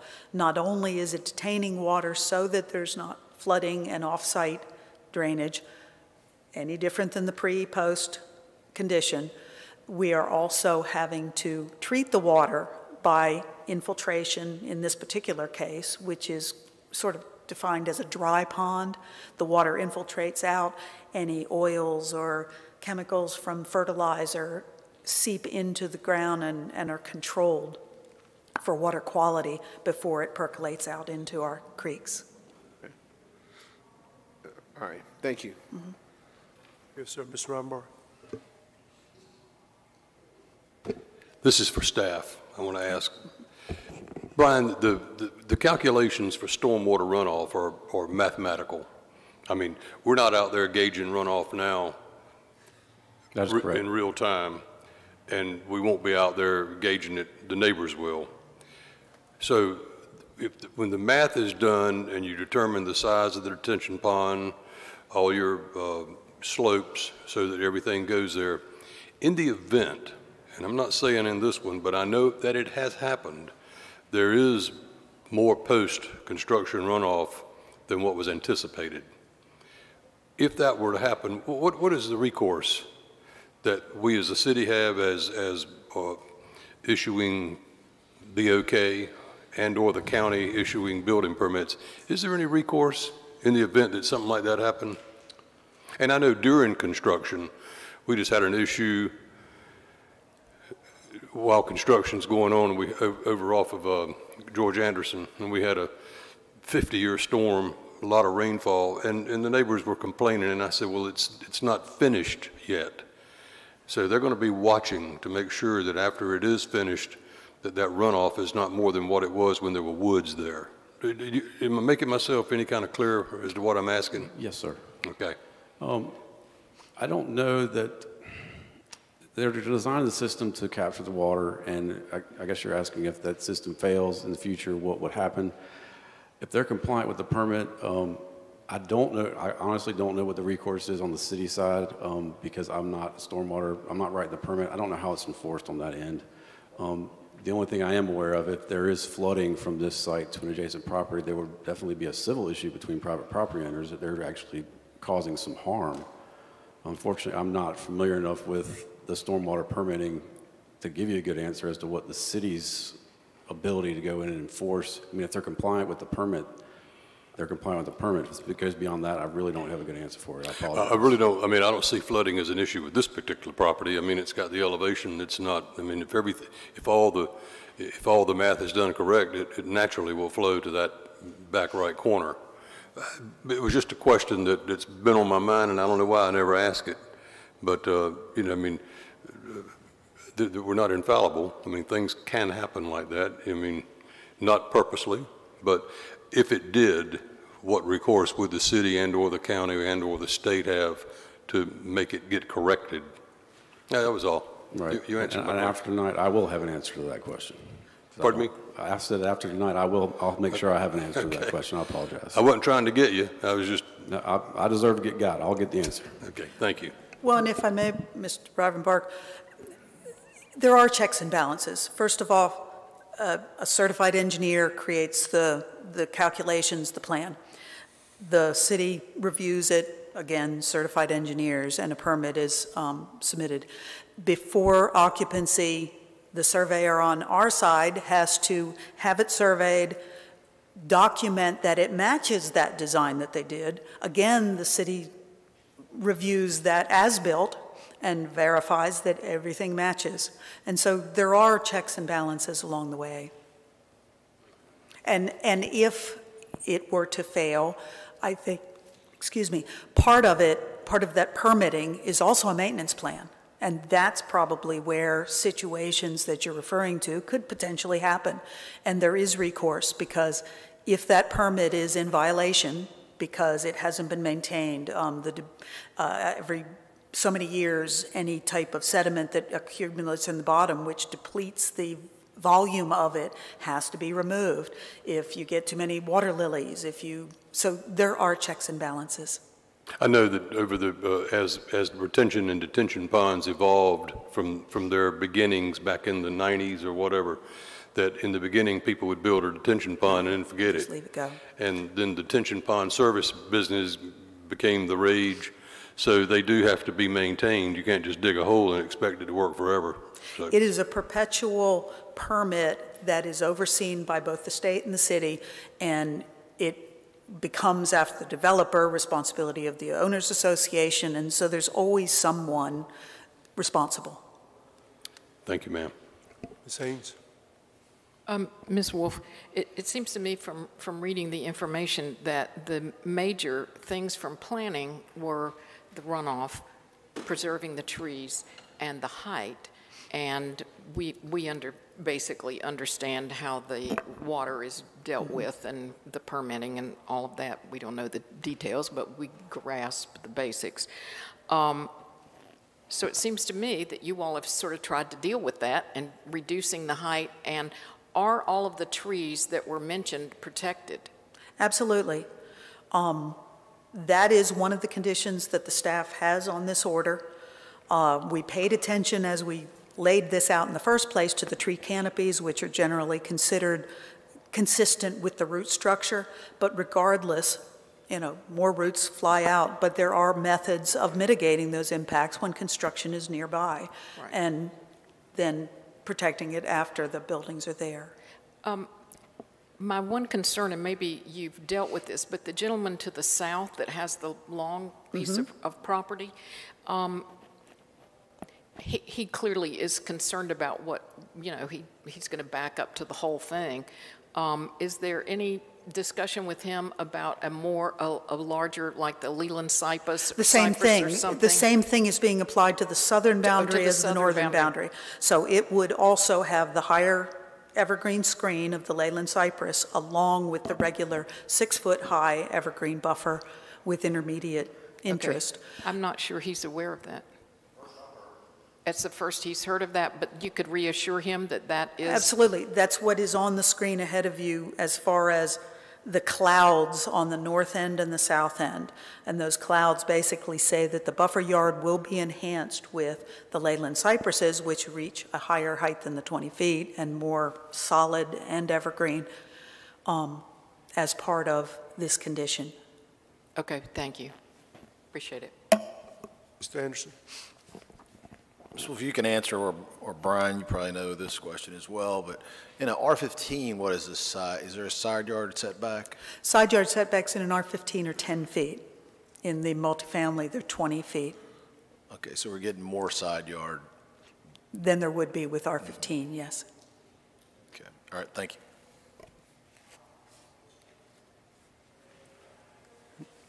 Any other questions? Thank you. Sir, Mr. Barnett? I saw a person in the audience raise their hand. Are they allowed to speak now, or? Okay, I saw that young guy. Thanks. Just wanted to enter into the record that the back uh, sides of the Andrews Reach neighbors, which is the north side of the property, does flood currently with the runoff. And that's at, you know, with a one single pad that was probably less than, you know, 3% impervious surface, and now we're going to 25%. So I think that the city council is correct in questioning what happens when the retention pond doesn't do its job or the grade, you know, doesn't accept all the water back to that back corner. Right now, it doesn't. It's all along the entire fence area there that it floods. Thank you. Cindy, uh, to, to the gentleman's point,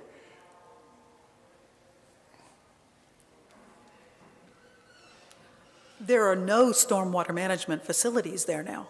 I understand that. I'm not disagreeing with that. Obviously, it's a vacant tract of land.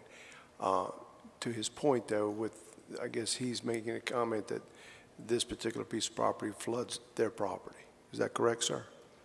That this piece of property is being flooded in your property? Okay. Okay. So uh, the, the question is, uh, I guess, uh, and maybe Brian, you can, you can, you and Cindy can answer this. The calculation is for what year type of storm?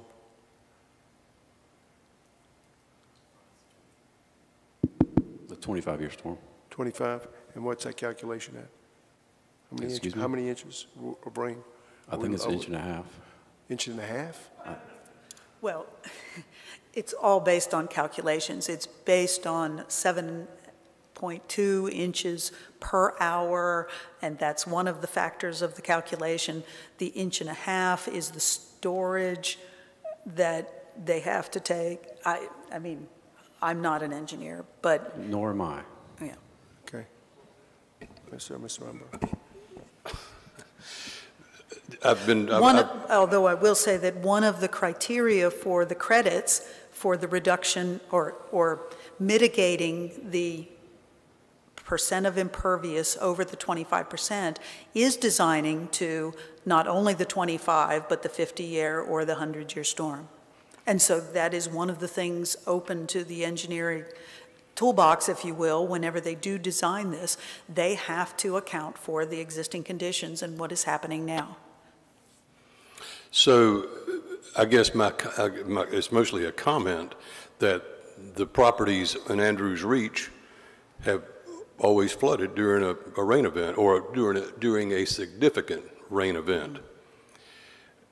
And I, I guess it is a question that I have now. Will the plan for stormwater retention on, if this project were built out, will it stop that?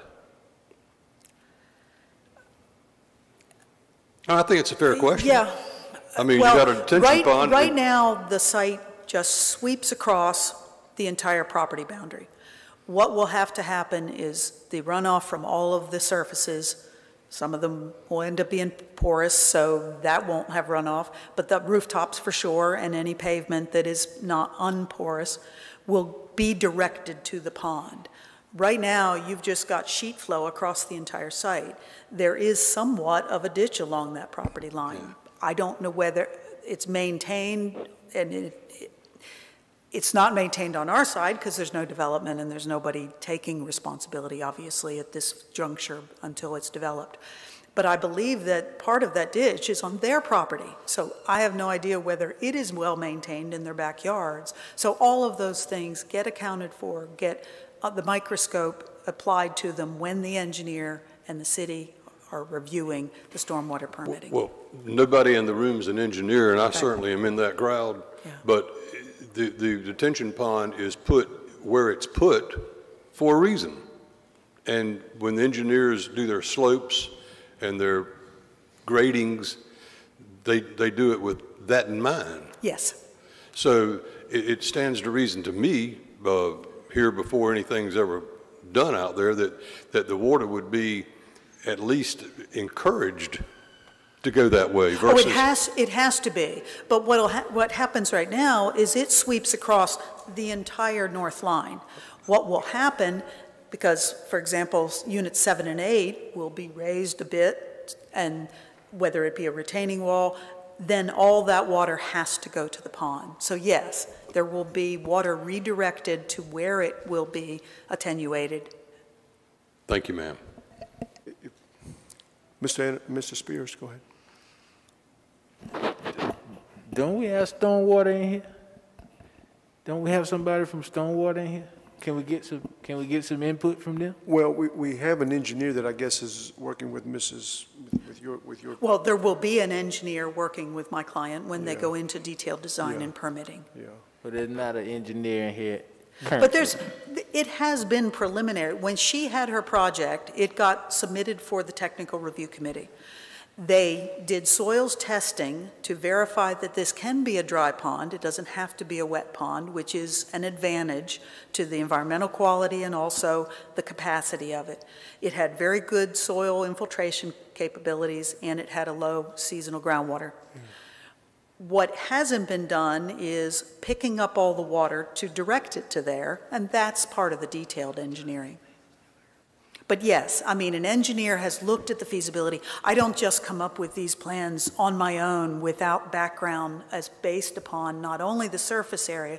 I mean, there's some tricks that I've used over the years, and it coincides with the plans that the engineers then take upon approval and take further through the process. So yes, it hasn't just been, I put it there, or I placed that size of it. It has been thought out. Okay. The answer to Coun- Councilman Spears' question is, we do not have a member of the, the stormwater engineer uh, here tonight because generally speaking, we have the project planner who is the, the team representative. We generally don't bring the team members in on, on projects like this. We do have Dave Mays, who uh, used to be our stormwater engineer um, at present, but I don't know that he can answer questions about calculations with regard to this without additional information. Dave, Dave, can you give us your general expertise on this? Can I make, I make a comment here? There's been some changes made since the planning commission meeting. We've heard from a lot of the residents here that are concerned about the stormwater calculations, and I need to have a little bit more, a lot more information about that, because I have some concerns about that, and I think we all are asking these spe- specific concerns, and to bring Dave Mays up on a project this cold to tell me that, I think would be, that- that wouldn't be fair to him nor you. I would like, I- I- and because the planning commission did not hear the changes that had been made and some of the concerns that we've heard tonight, I would like to remand this back to the planning commission for further review, because I think it's the right thing to do, to get them to get more eyeballs on it and give us a, a, a different calculation based on some of the stuff. I understand where you're coming from, Cindy, and I think you've met a lot of the criteria based on what the planning staff has recommended, but I have some concerns in respect to this. And also this gentleman over here that wasn't even aware of the fact that there was a buffering situation for him, and I think that the buffering needs to be much more well-defined to let folks know. I understand there's people that do not want this project, period. I get that. But there are some serious concerns that have been raised here that I'd like to have it remanded and let them have, take a look at it. All right? I- I would, Mr. Mayor, I would second that. I was just going to say that. I, I don't feel comfortable voting on this without planning, having looked, I mean, they had a problem with the height and with the buffering. We've been told that's fixed, but I don't know if it satisfies them. Uh, They're a little more technical, although not completely technical. So any of these other questions about the runoff, I think they're better equipped to advise us on those, which is their job, and I think it definitely should be remanded. And especially if these people's backyards are being flooded and the sheet flow is going over there. I understand you've got it cap, captured and it's a 25-year storm, but I know with the calculations, seven and a half inches per hour, it gives us some understanding, but we need a lot more technical write-off on it, okay? All right. All right. So, Mr. Grady, are you making the, the thing to, to remand it back? Yes. Yes, I'll Make okay. that motion. All right. We have a motion to remand this back to our planning commission by Councilmember Grady, second by Councilmember Barnett. Any further discussion? Mr. Mayor, Yes, sir. I do apologize, but uh, this question is for Councilmember O'Grady in regards to his motion. Uh, Am I correct in stating that the remand is back to Planning Commission for them to take into consideration the buffering and stormwater specifically, and then any other factors that they find that there's been a change of circumstance? The height, the buffering, and the stormwater, because their problems were with height and buffering. So I'd Thank you. like I I think. Planning Commission will benefit from that guidance. And, and, and we will keep the public hearing open, so the public hearing, I have not closed it. Okay? Very good. All in favor of that motion, please indicate by saying aye. Aye. Any opposed? That item passes unanimously. That brings us to our next item of business, which is item PH2, which is an ordinance amending the official zoning map of the city to rezone property containing 6.06 acres of land located at 821 and 827 South College Road and 4881 and 4885 Wilshire Boulevard from RB Regional Business and RBCD Regional Business Conditional District to UMX CD Urban Mixed Use Conditional District for a mixed-use development. This time, I'd like to recognize our city manager, Mr. Tony Carter. Mr. Carter? Thank you, Mr. Mayor. Associate Planner Jeff Walton will overview this item for us.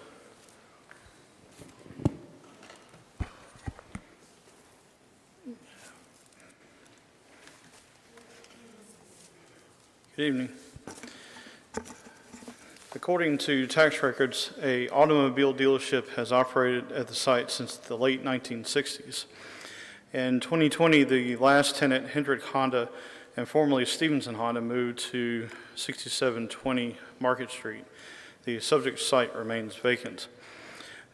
The applicant proposes to rezone the site from regional business and regional business conditional district to UMX conditional district for mixed-use development of 298 units, 15,000 square feet of retail, 364 space parking deck, and 94 surface parking spaces.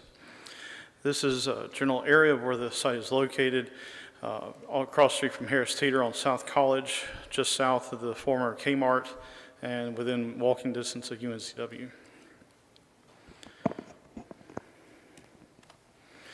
This is photos of the subject site of the uh, former car dealership, some adjacent properties across the street uh, on Wilshire as well as South College, of some of the adjacent properties.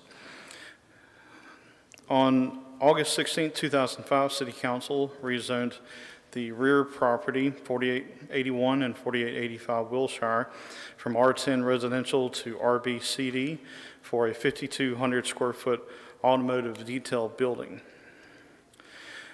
Tonight, the proposal includes extending Wilshire Boulevard 150 feet to the southeast, adding pavement, curb, gutter, sidewalks along the frontage of the subject site, a 20-foot buffer yard along the rear property line adjacent to the University Place apartments will remain, uh, including all existing vegetation. There are two vehicular connections proposed to the north uh, to the former Kmart site. Based on the intensity of the proposed use, a traffic impact analysis was required. Uh, The approved recommendations state that no improvements are recommended for South College nor Wilshire Boulevard. This is a general elevation of the proposed development. The comprehensive plan supports development that is consistent with the context of the surrounding area. The plan supports higher residential densities along transit routes, limited surface parking lots, and quality building designs. The proposal would allow the construction of a mixed-use project that will provide housing and some commercial services along the east side of College Road, the same side as UNCW. These commercial and residential uses will wrap structured parking and minimize surface parking. The proposal includes future access to Kmart's to the north, thereby thereby enhancing redevelopment opportunities on site. One of the shortcomings of the project is the lack of safe pedestrian crossing of College Road directly to the full-service Harris Teeter uh, and Shopping Center across the busy arterial.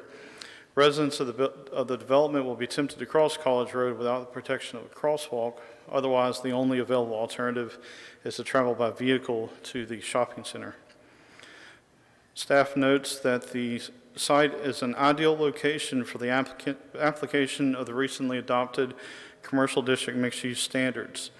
A CDMU project would be permitted by right within the existing regional business district, thereby requiring no rezoning of the property. In addition, the inclusion of some workforce housing in the development would allow for unlimited residential density. While the proposed application of the UMX zoning is not generally favored at, a, at this suburban location, the project does exhibit many attributes called for in the Create Wilmington Comprehensive Plan. On balance, therefore, staff believes the request is reasonable and in the public interest, and we recommend conditional approval with the conditions outlined in the case summary. And I believe the applicant is also here to make a presentation. Thank you. Are there any questions uh, for staff? Yes, Mr. O'Grady? I completely agree with you about the shortcoming. I, I like this project. It's in the right place, walking distance to campus, keeps the kids off the roads, lots of great things. But we got to get them across this college road. I mean, there's got to be some provision for that. Uh, we can't create a situation where we're going to have kids running across, which is what's going to happen. Um, so I, I really think the, this needs to go back to the uh, pr- proposer and see if they can come up with some plans for crossing. It, it was discussed. Um, the Walk Wilmington plan, I believe, is in your case summary, uh, did identify this as being ideal for the, in, in the improvement of crosswalks at this location. Uh, it was presented to the applicant. Um, as you can, can uh, re- remember that any uh, recommendation we have in our staff report, the applicant has to agree to it. Um, That has been presented, and it wasn't really accepted by the applicant. Maybe the applicant can address it further uh, during their presentation, but it has been proposed. To me, that is the major drawback of this proposal, is there's We no way to get across College Road. And we already have that problem. We don't need to make it worse. Sure. I think Charlie would agree with that. I think you would agree, we don't need to make crossing College Road even worse. Now, I know that there's, there are plans either on the board being talked about, uh, coming up the Wilshire or coming down Carr and then crossing over College. Um, in some of the discussions I've had with the university and, and DOT, so I don't know how that'll affect this, but I do know there's, I mean, you just mentioned Walk Wilmington, uh, coming up Wilshire Boulevard to cross College Road. Are you more familiar with that than I obviously am not? At that intersection? Yes. I used, I used to live out there, so. um, The uh, Walk Wilmington plan is identified as attachment five in your documents. I don't have it on the presentation, but there, in the, the map does identify that intersection as adding pedestrian, pedestrian signal connections across South College Road. Right there at Wilshire? Yes, Wilshire and South College. Yes, sir. Do we know where it is in the pipeline? I mean, is that something that could coincide? I know I'm asking you a question that you probably hadn't boned up on, but Yeah, I'm not, I'm not exactly sure where that is in the pipeline. The only thing I can say is referring to the map, it says that it's a short-term solution. I'm not sure where that is in the budget cycle, but I think it is on the radar to, to improve that intersection. I just don't know the timeframe for it. Thank you. Thank you. Mr. Henderson? Um, we don't have our MPO director here, do we? Is Mike here today, tonight? Because I know also there's, I don't know the details by any means, but there's plans for that whole, to, to, to limit the number, to, what's the word? Seal, seal a lot of these driveways and more islands and, and have a less left, right turns, more turnarounds. It, it was, it was on deck, as we know, and we've, we've discussed at length the, the funding at the DOT level, but that was a, that's a project to make that whole area uh, less congested, and I don't know, Mike could tell us, but, you know, I'm sure it's six, eight, ten years away, but. I think so. The, I can get to the aerial. Um, the aerial itself shows um, three driveways on Wilshire as well as a larger driveway on, on College Road. Um, you know, I don't have an easy answer for you on driveways. You know, they are trying to On driveways, I'm saying part of that whole big project is m- more pedestrian. In fact, when there's Yeah. less people turning, I'm not talking about this particular driveway, I'm talking about the whole, the whole length of College Road. Sure. From, from uh, Oleander to uh, Market, so, but without Mike here, I'm just blabbering, so we'll wait on him. Yes, sir. Mr. Gray, did you, did you, did you, you already spoke, I'm sorry. I'm, I, there was before. Okay. Said what I had to say. Everybody speak? Okay, Great. Thank you. okay, thank you, sir. At this time, I'd like to recognize the applicant.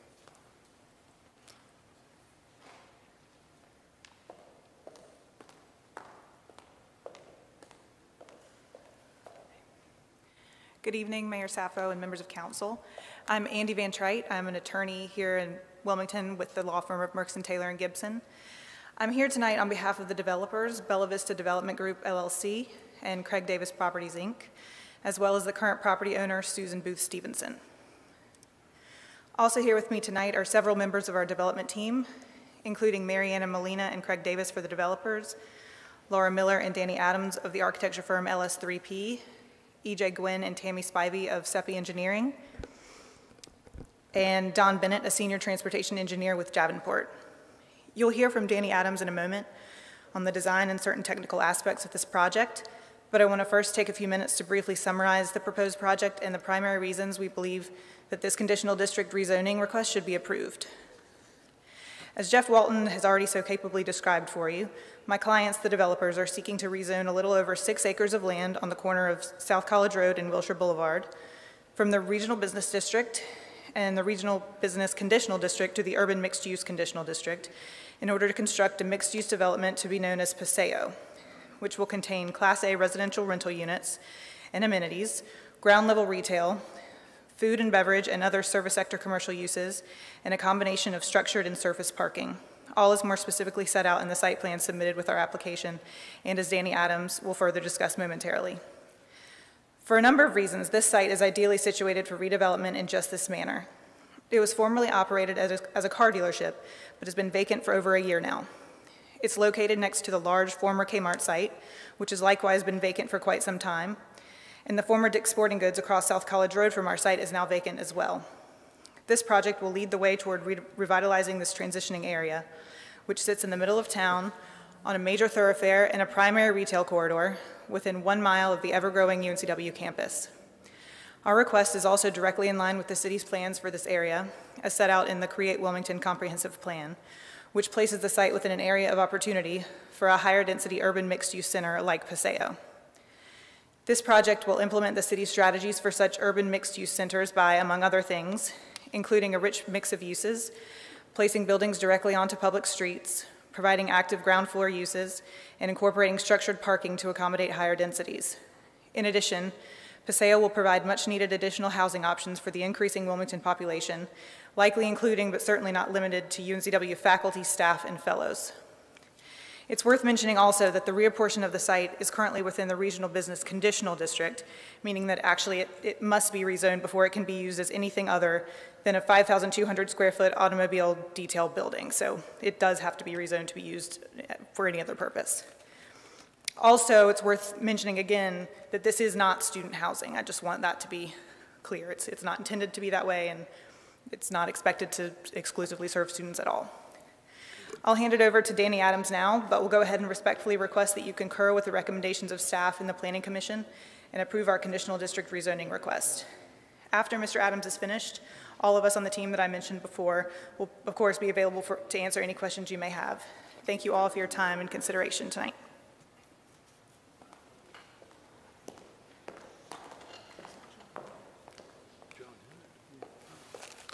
Mr. Mayor, Council, um, thank you. My name is Danny Adams. Uh, I'm a principal and a director of design with LS3P. Uh, I'm also a uh, resident of the city of Wilmington and wanted to spend just a little bit of time to do an overview to talk about the aspirations of this project and some of the principle and rationale that went into our current thinking on the planning. Uh, Jeff Walton talked a little bit about the site. You know it. Um, it's extremely underutilized um, right now. Um, I'll skip ahead to this side. It shows a little better. Um, our project really is trying to create a diverse, vertically integrated mixed-use project.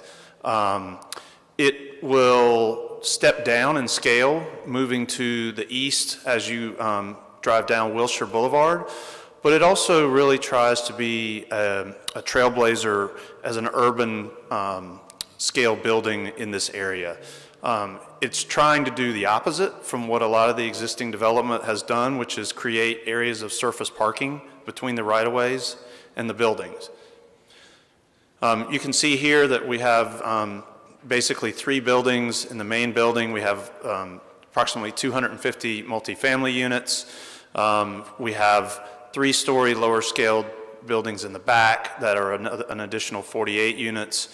Um, in the front of the uh, property fronting College Road. We have ground level retail around a festival um, mixed use courtyard.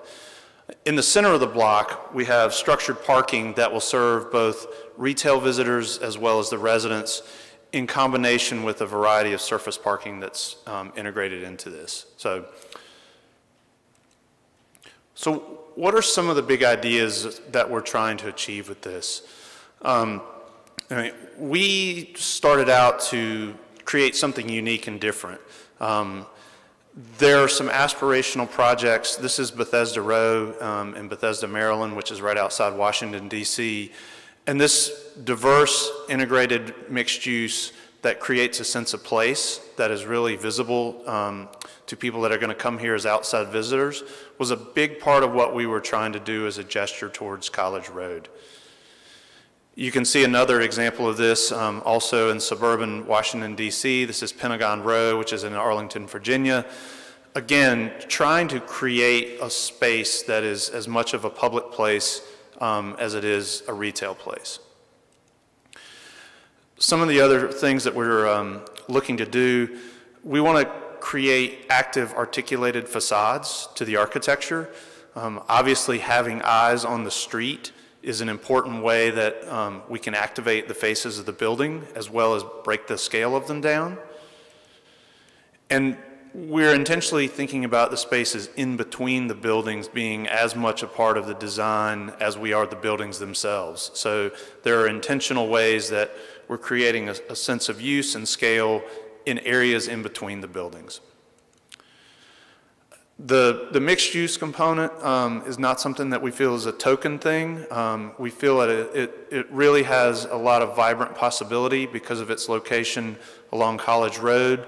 So looking at the architecture to really open up um, the visibility to and from that retail is a big part of what we're doing. And how it flanks this um, retail courtyard is a big part of the design gesture towards College Road. This is a, a really an old-fashioned way of looking at development, but thinking about this project as a streetscape-oriented um, approach to having actual walk-up stoops to some of the ground floor units, and again, creating real streetscapes with sidewalks, with street trees, with on-street parking. Um, you know, this is something that neighborhoods did a long time ago that we want to bring back into this. And obviously, there'll be private amenities um, that will be a big part.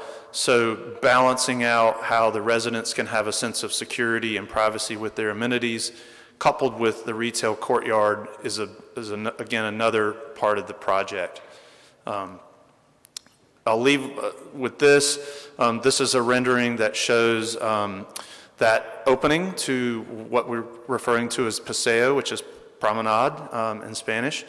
Um, You see Wilshire Boulevard here on the right and College Road on the left, um, and really trying to do something that is um, just a a really, you know, trailblazing, unique thing here on the site. So if you have any questions. Yes, sir. Mr. Barnett?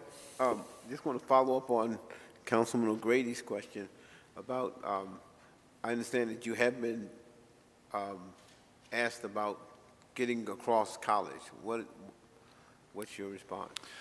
Well, Currently, there is a striped um, pedestrian connection across on the south side of the intersection.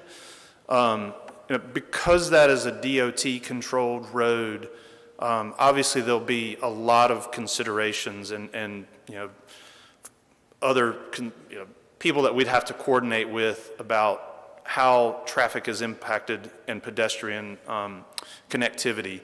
Um, I, I think that, you know, again, Mr. Bennett is here and, and could speak to that um, as a constraint, but by and large, I think we would want to do whatever was within the realm of possibility to increase and promote a safe pedestrian way to get across College Road. At least it's signalized. Any other questions? Is uh, Mr. Bennett going to speak? Or you're going to have Ms. speak? Is Mr. Bennett part of your team? I, I guess since a, a a lot of the, the discussion has focused around the um, crossing of, of uh, College Road there uh, and the concerns that council has about that, can you kind of uh, enlighten us a little bit, Mr. Bennett?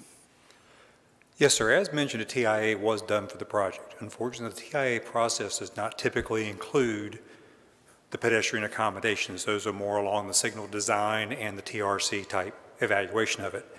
What we would note is it is not uncommon on College Road to pick an approach with which that pedestrian movement will run. For example, at Kmart, Randall, New Center, Peachtree, and Lake, there is a crossing across College Road on the south side of the intersection. At Hearst and University, those crossings are on the north side. What you typically will do is cross your pedestrian concurrent with the movement that has the least turning movements mm. that will be crossing that pedestrian crossing.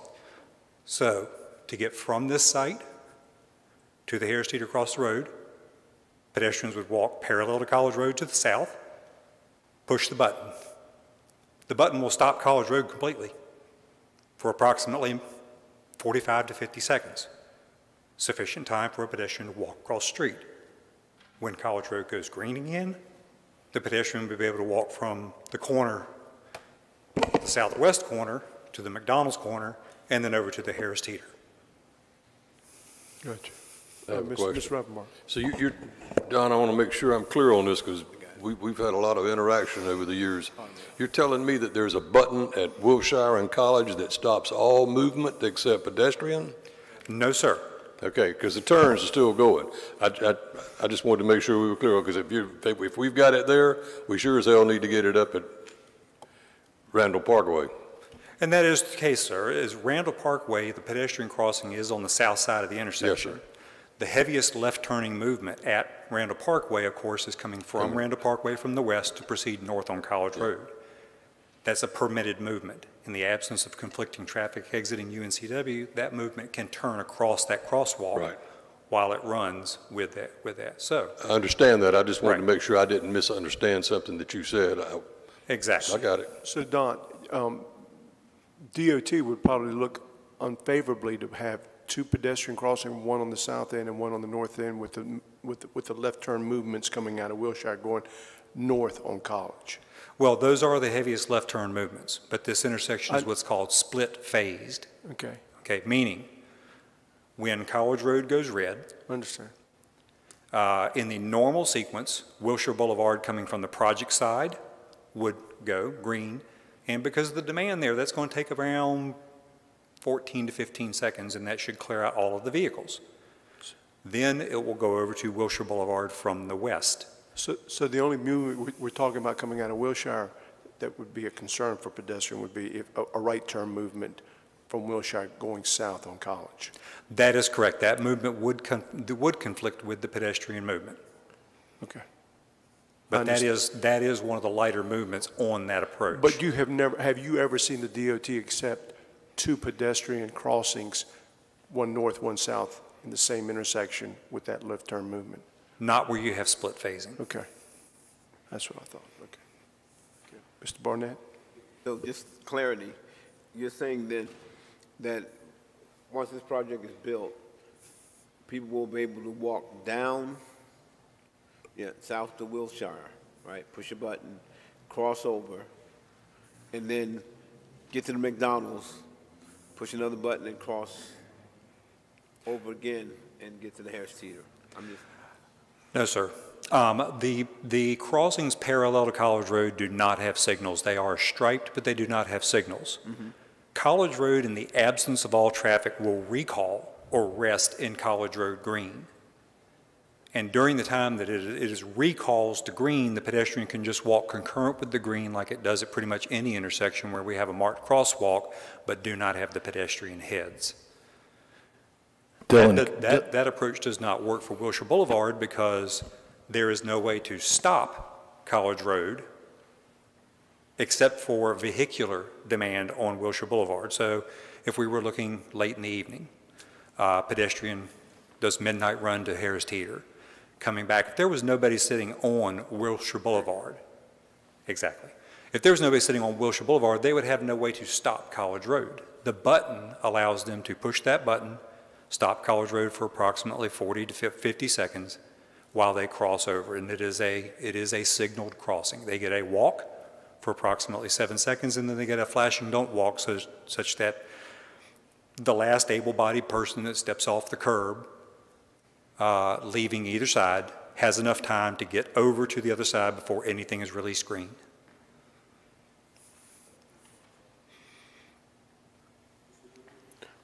So Don, you're talking, that's what it should be? But those buttons aren't there now, right? No, those buttons are there right now. Yes, sir. Those were installed by city engineering as part of a project uh, probably six months before my retirement in June of 2020. The project also installed a crossing on the north side of Wilshire Boulevard at Kerr Avenue. The same project did both crossings. So those buttons exist today. And if, uh, if Dylan could pull up the street view, I believe the most recent street view will actually show the pedestrian heads and buttons. It right there? Isn't that the crosswalk? I see, right here. There we go. Yes, sir. You can see uh, by the wooden pole over on the right, uh, immediately past the Honda Accord or the Volkswagen Jetta. Uh, You can see the red, the yellow pedestrian head about halfway up the pole facing the east. And then on the other side, you can see a small silver pole with a yellow head, and that one faces back to the west. So that infrastructure is existing today. And that's sufficient to stop that traffic long enough for them to cross? That is sufficient not only to provide a walk signal for approximately seven seconds, but the last pedestrian that steps off of the curb ramp, walking at three and a half feet per second, which is a very slow walking pace for the average person, um, they will be on the other side of the road prior to any, excuse me, prior to College Road going green again.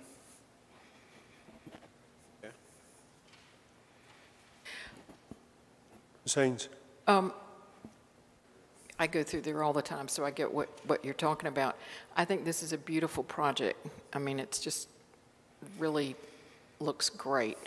Um, won't the pedestrian and traffic pattern change when you get all these people in here? And so you might have more left turns of people coming out of the project and turning uh, left to go south on College. I mean, we don't know. But it seems to me you're going to put an awful lot of people in there. And so maybe that's going to change the pattern. And and then the crosswalk could be changed to the other, to the northern part of College Road rather than on the south. I have the traffic volumes from the traffic study for the potential build volumes to give you a comparison of potential volumes.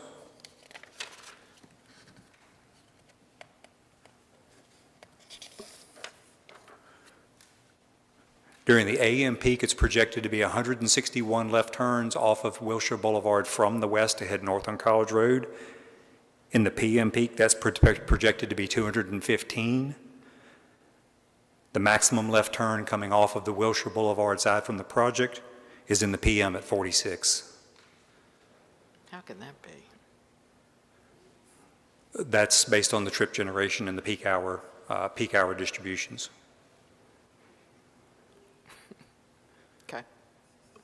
Spears?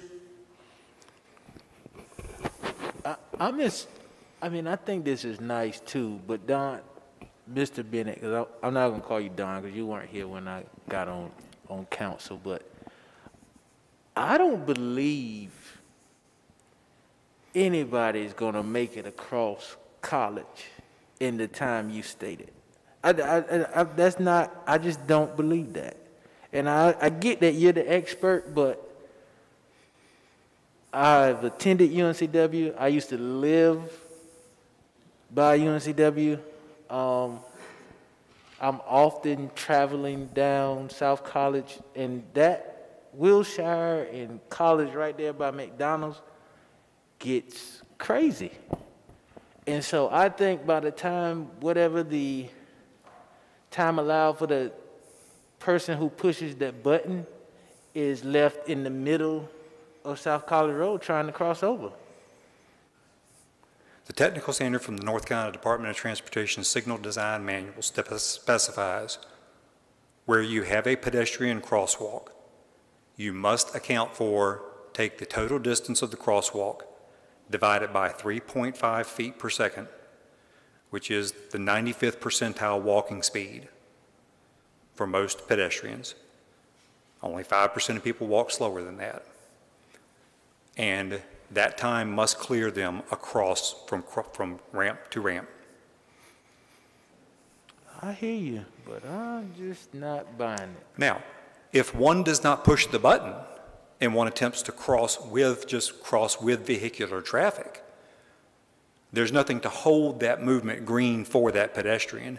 As soon as the vehicular traffic disappears, it will cycle through. So if one does attempt to cross without pushing the button, that could be a case where they're only going to get as much time as the vehicles hold that vehicle green, and they will be walking against the upraised hand. Yeah, I, I, hear you. I'm just not, I mean, I'm a pretty fit guy, and sometimes when I hit the button right outside here, I mean, I'm getting a hand before I get, what, what is that, 305 over there? I, I'm getting a hand before I get there, so I could just imagine how anybody else would feel. Is it a flashing hand or a solid hand? And it's solid by the time, I mean, I, I'm breaking the law by the time I get to the other side. I just, I don't know. I'm not buying it. Ms. Anderson? And is, remi- I thought I heard you say, I- I mean, we can look at this overhead, not, who knows what the date is or if it, how current it is, but you, you can see the, when you get over here to the, when you cross, after you cross college, is there then again a, uh, would you just be walking with traffic or is there a, um, the button and so forth across Wilshire? There are striped crosswalks across both, both approaches of Wilshire Boulevard. So, and in North Carolina, the lateral extension of the sidewalk constitutes the legal crosswalk, marked or not. So you're saying that, that is now marked? That is marked, as it is shown in the aerial uh, that we have here. You can see the preliminary markings on the ground. Those have been since made per- permanent. Now it's, now it's horizontal or whatever, perpendicular stripes there, is that what you're saying? Those are just the parallel bars, just parallel stripes. Okay.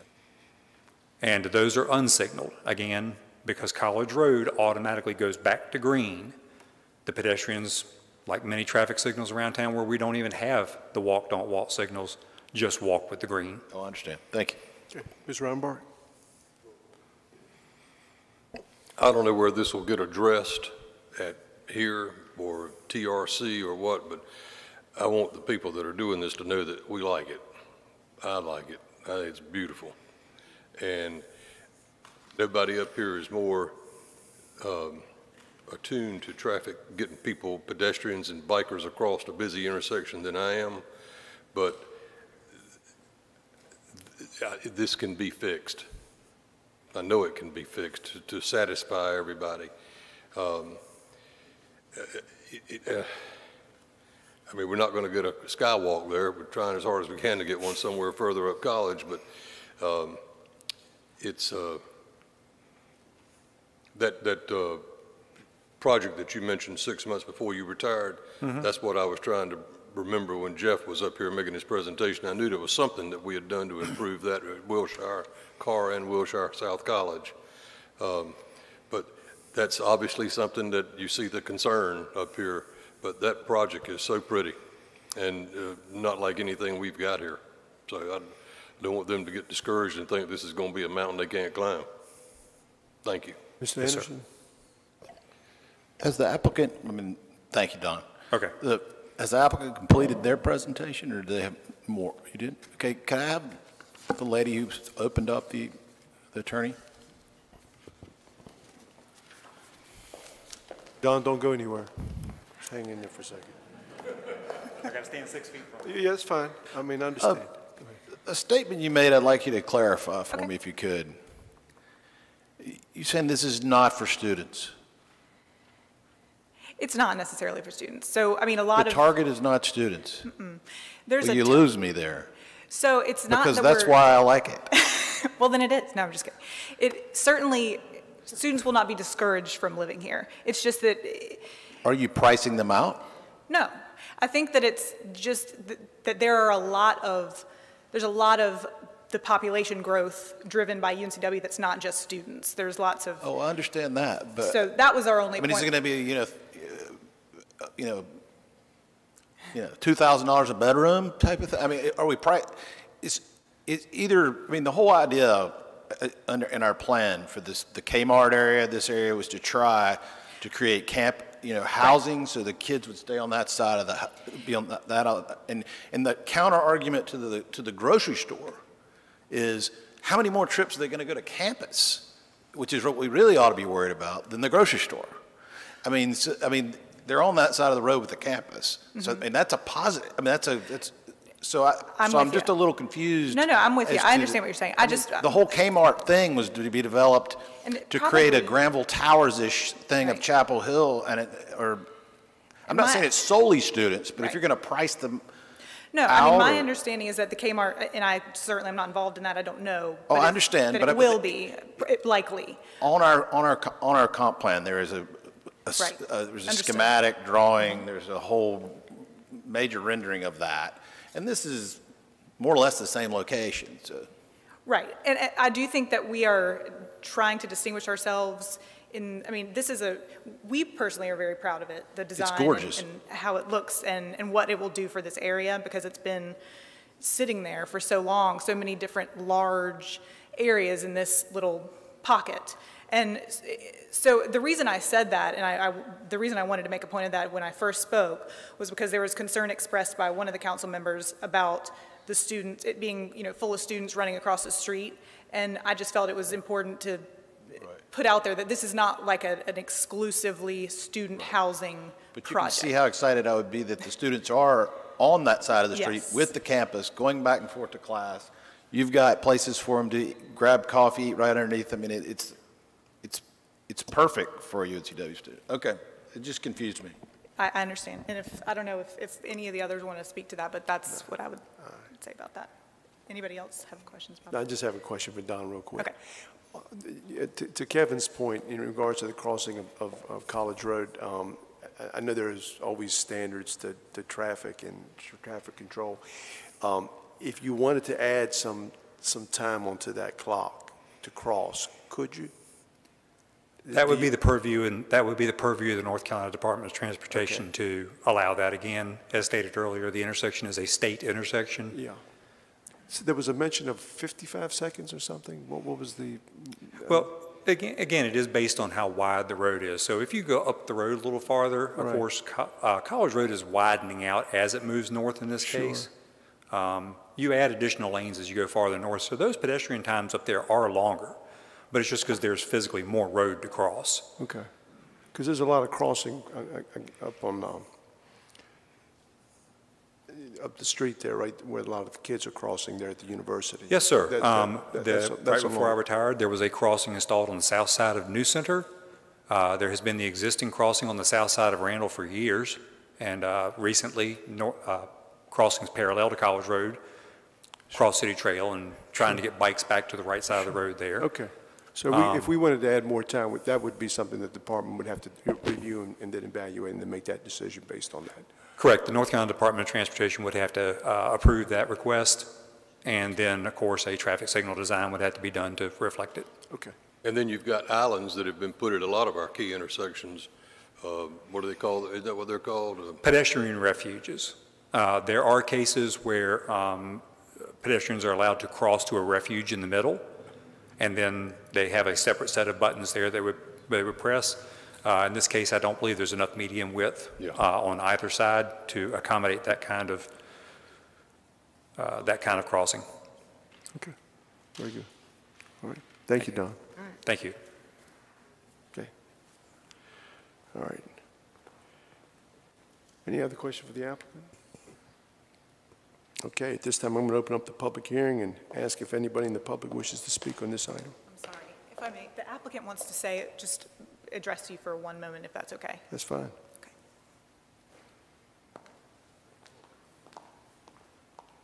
Good evening, Mayor. Good evening, council members. My name is Mariana Molina, and I am here on behalf of one of the developers of the project, Bella Vista Development Group. Um, Craig Davis of Craig Davis Properties is also here, um, who is my husband and is the other developer of this project.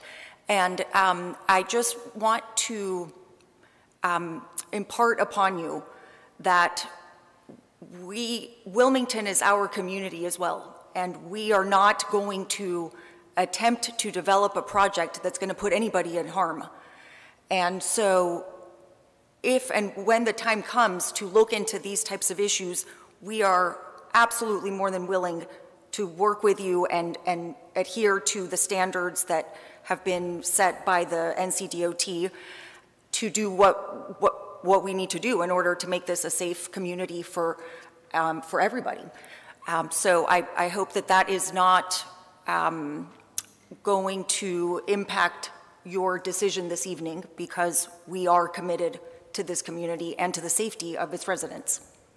We appreciate that. and Of course. Just because with the, the- with the amount of traffic that, or walkable traffic that is going back and forth from the university to the other side. Of course. We've had a lot of concerns um, from folks, and um, rightfully so. And so, Yes. and I know that you- don't control North Carolina Department of Transportation, neither do we. So it is something that would be a, a work in progress, and I would imagine that the department is, is about safety, and whatever it would take to make that crossing safe, we're okay with. Thank you very much. Thank Great. you very much. Thank you. Appreciate it. Okay.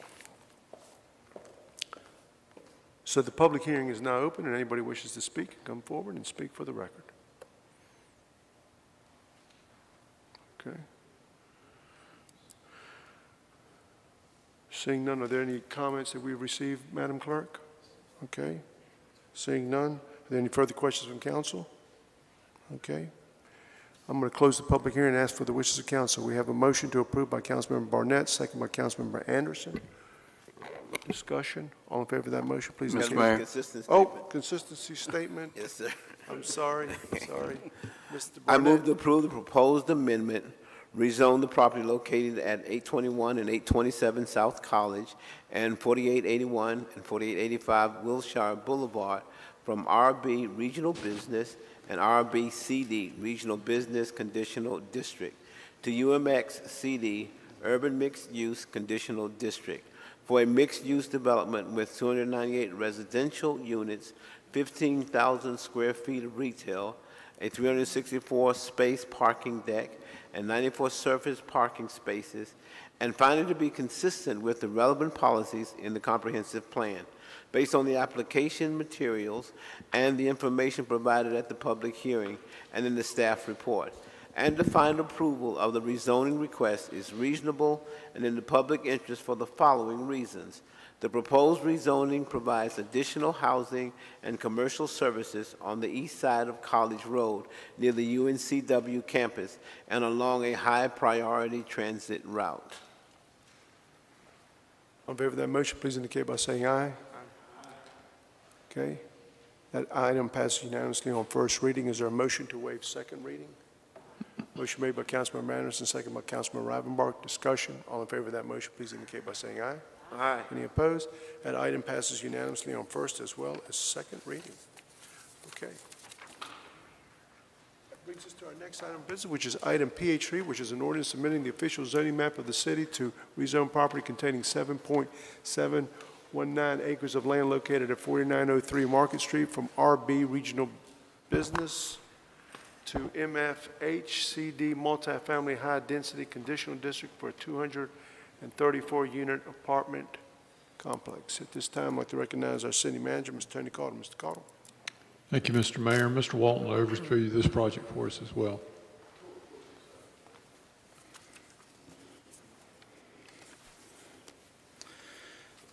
According to the Wilmington City Directory, a Holiday Inn motel oper- operated at the site as early as 1975.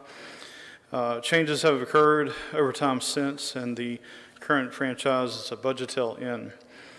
The City of Wilmington filed a legal action against the property in 2016, claiming that the property was a nuisance based upon a lengthy history of violations of controlled substances um, on the premises, as well as loitering and prostitution. The New Hanover County Superior Court entered a consent judgment and final order of abatement with regard to the property on July 18, 2016. The judgment order prevents any current or future property owner from maintaining a nuisance anywhere on the property. The order also presents, uh, prevents the property from ever being used as any type of private club which might attract similar gatherings of people. Uh, This uh, gives you an overview of where the property is located on Market uh, in- near South Kerr Avenue, um, adjacent to Abbott's Run um, and near the food line. These are some of the photos of the subject site itself, of the current operations as a Budgetel Inn, uh, some adjacent properties, um, just uh, along uh, Market Street, as well as uh, the apartments that are on McClellan Drive to the rear. The applicant proposes to rezone the site from RB Regional Business to multifamily H, uh, multifamily high-density conditional district to allow for the conversion of existing 224-room hotel use to a 234-unit apartment complex.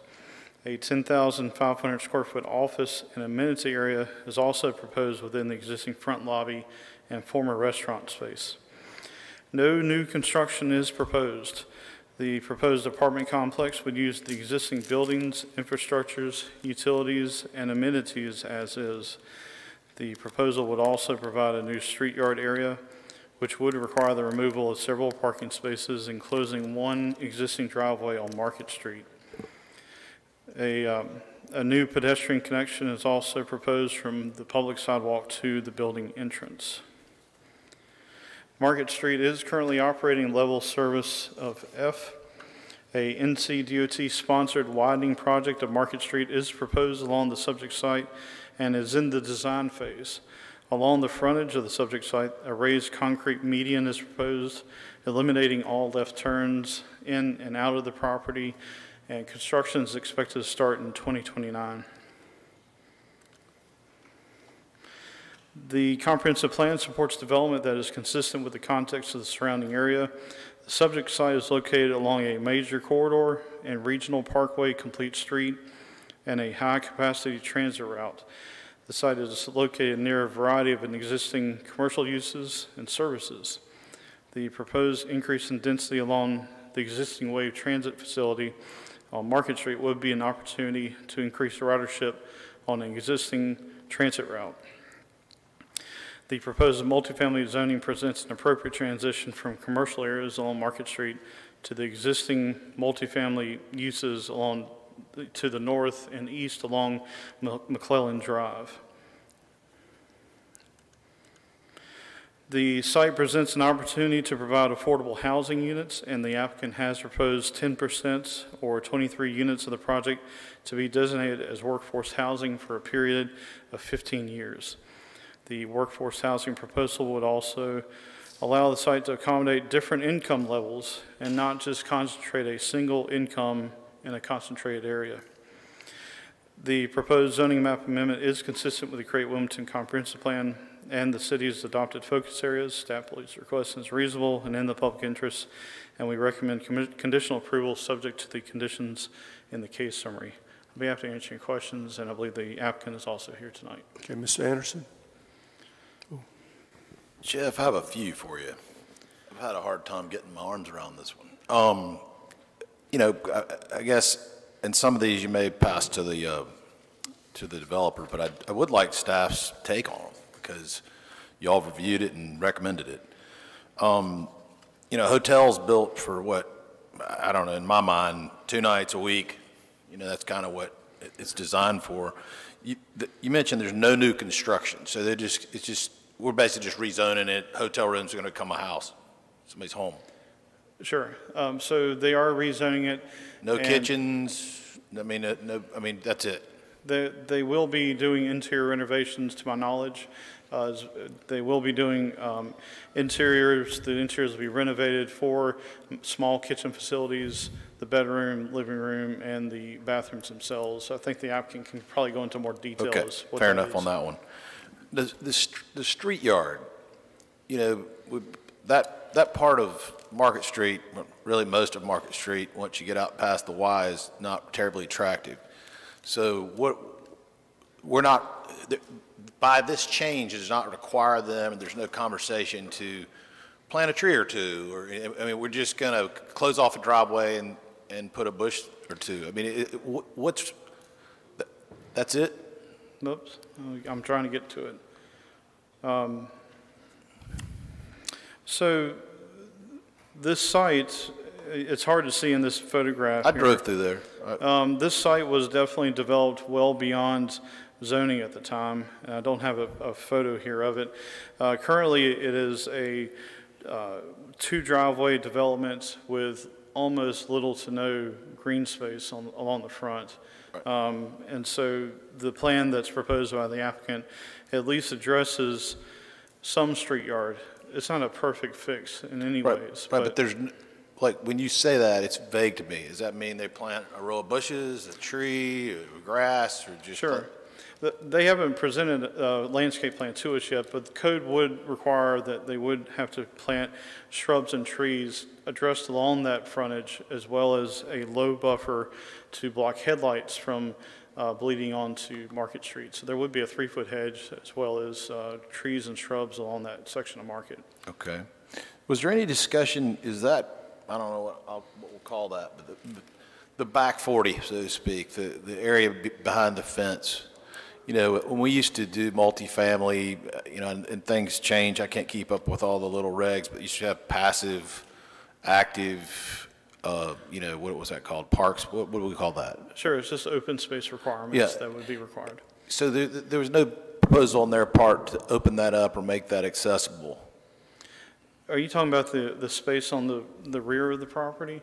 I- I- To my knowledge, and maybe the applicant will get into this further, I, I believe a lot of that is uh, considered wet or wetlands. And so the applicant proposed that as passive open space. There is a, a degree of active open space since within the front two buildings, there's an existing pool facility as well as uh, green space for residents. And so we feel they are meeting the open space requirement of multifamily. Okay, well, I'll, I'll ask more questions of the, Sure. of the applicant. Thank you. Mr. Grady? Okay, there's a reference in here about um, affordable housing, and I didn't understand the reference uh, to um, high HUD, whatever it is. Translate it into what we usually do, which is based on uh, the uh, minimum uh, uh, average wage? Um, We usually do 60%, 80%. Um, I just don't understand what, the what, what, when they say affordable housing, what's the percent of the average uh, wage?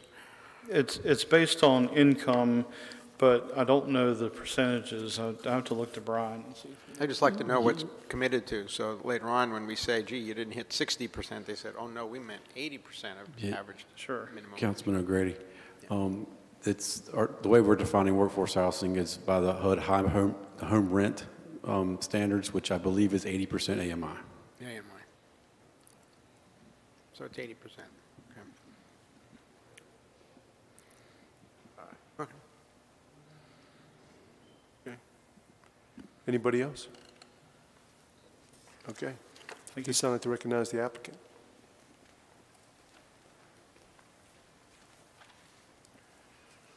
Hello again. For the record, I'm Cindy Wolf, and here on behalf of the owner and the developer. This petition is certainly an interesting proposal compared to what we customarily bring forward as multifamily development in our community. And as Jeff described, the proposal is redevelopment of two existing motels historically used for transient lodging, but now intended for residential rental. Enter Vivo. Um, This is a group of developers that now have facilities in several states all over the country, and it's an interesting dynamic. Their program acknowledges that renters are constantly seeing regular increases in the price of housing through gentrification, um, increased demand in virtually every urban center of the country. At the same time, some of the older hotels are seeing lower demand, and when in competition with newer facilities, location obviously plays a major role in their occupancy, especially in a resort community like we are. People want to be closer to the beach. There's constantly new hotels being built.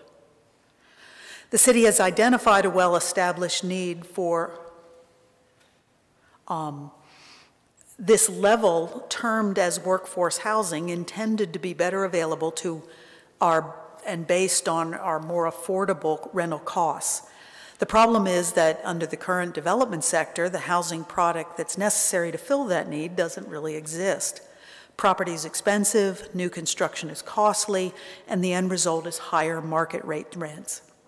Vivo has introduced a solution by converting low-demand hotels into micro-apartment complexes that are pre-furnished and able to provide the same Class A amenities as other apartment complexes while retaining the existing hotel amenities like the pool, the lounge areas, gyms, and business centers. Meanwhile, pricing to renters is in the lower range because of the compact unit size, and the management can make a project more successful because of the increased number of units. This hates me. The redevelopment will primarily be internal to the buildings, with the exception of the frontage. And Mr. Anderson, I think this is what you were asking about. The, when the driveway is closed at the front, everything that is up front there will turn into green space, and it will meet the current criteria for street yard landscaping, which, as Jeff pointed out, will include, include trees and shrubs and a low buffer along the parking spaces. Some of the architectural change, some architectural change will be made in that porte cochere to give it a little bit more residential look. It's a, you know, a huge drop-off area now. The western driveway, as we said, would be abandoned, thereby reducing turning conflicts along Market Street and improving overall access management. I believe one of the most important features of this proposal is its location. Several of the growth strategies and, and policies for the Create Wilmington Plan promote integrating residential development into existing commercial areas as a way to help reduce reliance on motor vehicles. We call it horizontal mixed use. Adding residents within an existing commercial node promotes non-transit oriented use and even reduction of parking needs. There is a multitude of shopping and eating establishments within easy walkability of this complex. Public transit will be another high point of it and a positive feature. The location is central within the city along four public transit routes. There's a covered stop directly in front of this site and a crosswalk at low water just east of the site that allows access to the, the route stop on the opposite side of wave travel and also for the Seahawk shuttle. Princess Place, Market Street, they both provide, uh, those lines both provide access between Padgett Station, which is downtown, and Forden Station, which is at North College. Those are transfer facilities, thereby giving broader access to the entire Wave transit system. Medical Center accesses the hospital area and the regional shopping node at the intersection of Independence and Oleander. The Shipyard Boulevard route avails the shop, that same shopping area, and takes you all the way across town to public port facilities. The city's efforts to provide safe cycling throughout the community are constantly adding the- to the variety and interconnectivity of bike trails and other accommodations. An abundance of secure bicycle parking racks or lockers will be dispersed around the complex for easy access to the multiple entrances. The improvement along Market Street to Kerr Avenue intersection has included upgrading the public sidewalks that were already there. Now they're a little wider, they're certainly not broken up and cracked. And now there are bike lanes along Kerr Avenue. These are some of the pictures of other Vivo apartment complexes, and you can see the quality of the renovations and the lifestyle appointments. Each room, which is currently a bedroom and a separate bathroom, will have a kitchenette and full size. I mean, you can see this. It's cabinetry, a full stove, your sink, and that looks like a dishwasher. Um, These are furnished, and so those types of things would be included as they're showing here. The pool is already there. Um, It would be upgraded. And the interior space of this particular facility that had a restaurant has more than adequate space in the lounges and in that restaurant area to create a gym, to create a business center, and an activity area for the residents. We believe that the rents for the rooms of this apartment complex will be what Vivo calls naturally affordable based on the location and the size of the units. Regardless, they have committed to designating 10% of the units to meet that criteria of the workforce housing uh, standards, and that is what we've been using lately, 80% of the AMI, which is the high rent for 80% AMI for the minimum of 15 years. Incorporating the combination of the market rate and this more controlled rate also meets the strategies, as Jeff pointed out, of not concentrating all low-income housing in the same place. To close, we believe that this is consistent, reasonable in the public interest, and we hope you'll agree with the Planning Commission's uh, unanimous recommendation of approval along with the staff's. Thank you. Question, Mr. Spears?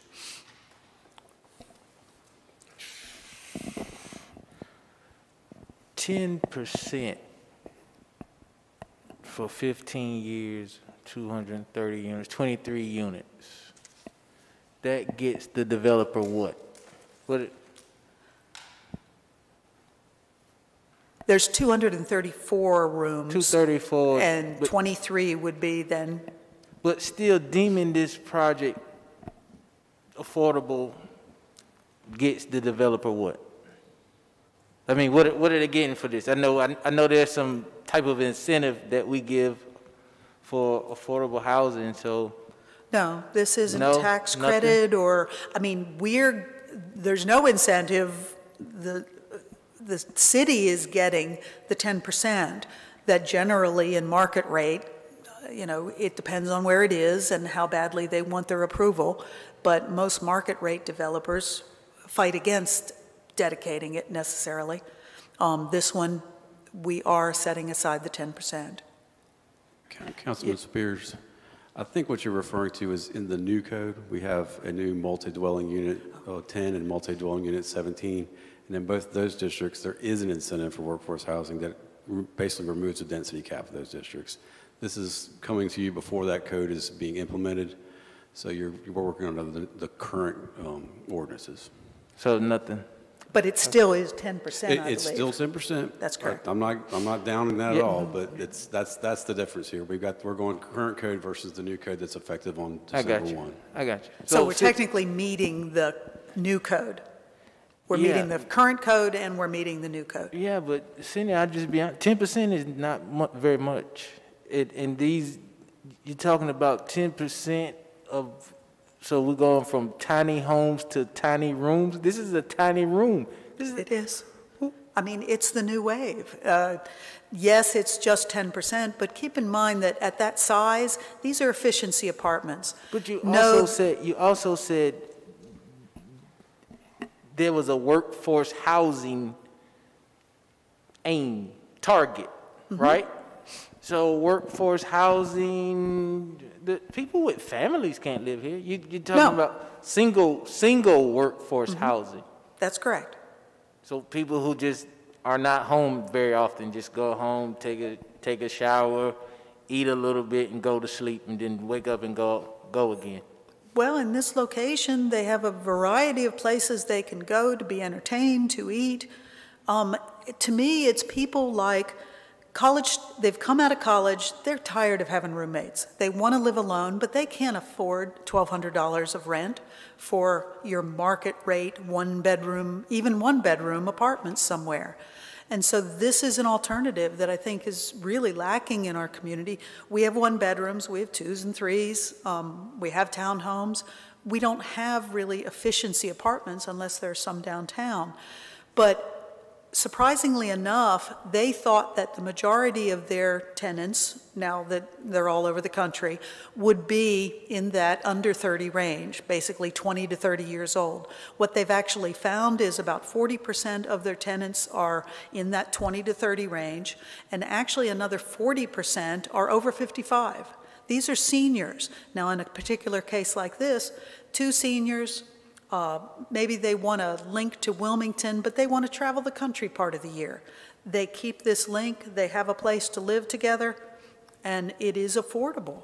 Well, that might have been a better angle. Senior, senior affordable house. I, Well, I mean, we're, we're not trying to limit it, but it is, if you think about the size of the unit, they're not going to glean $1,100 a month rents. So if they're down in that $900 range for a single-bedroom apartment, or an efficiency, that is pretty darn close to the affordable that the 10% is limiting. I guess. I mean, you, you're talking about a, an old motel that's known for drugs and prostitution. That now someone wants to live there for 900 a month and call it affordable living. I- Well, once it's improved, all the rooms get redone, the sprinkler system, the, the amenity areas. I mean, that's what this group does. And they've been very successful with it in other locations. all right. Mr. Anderson?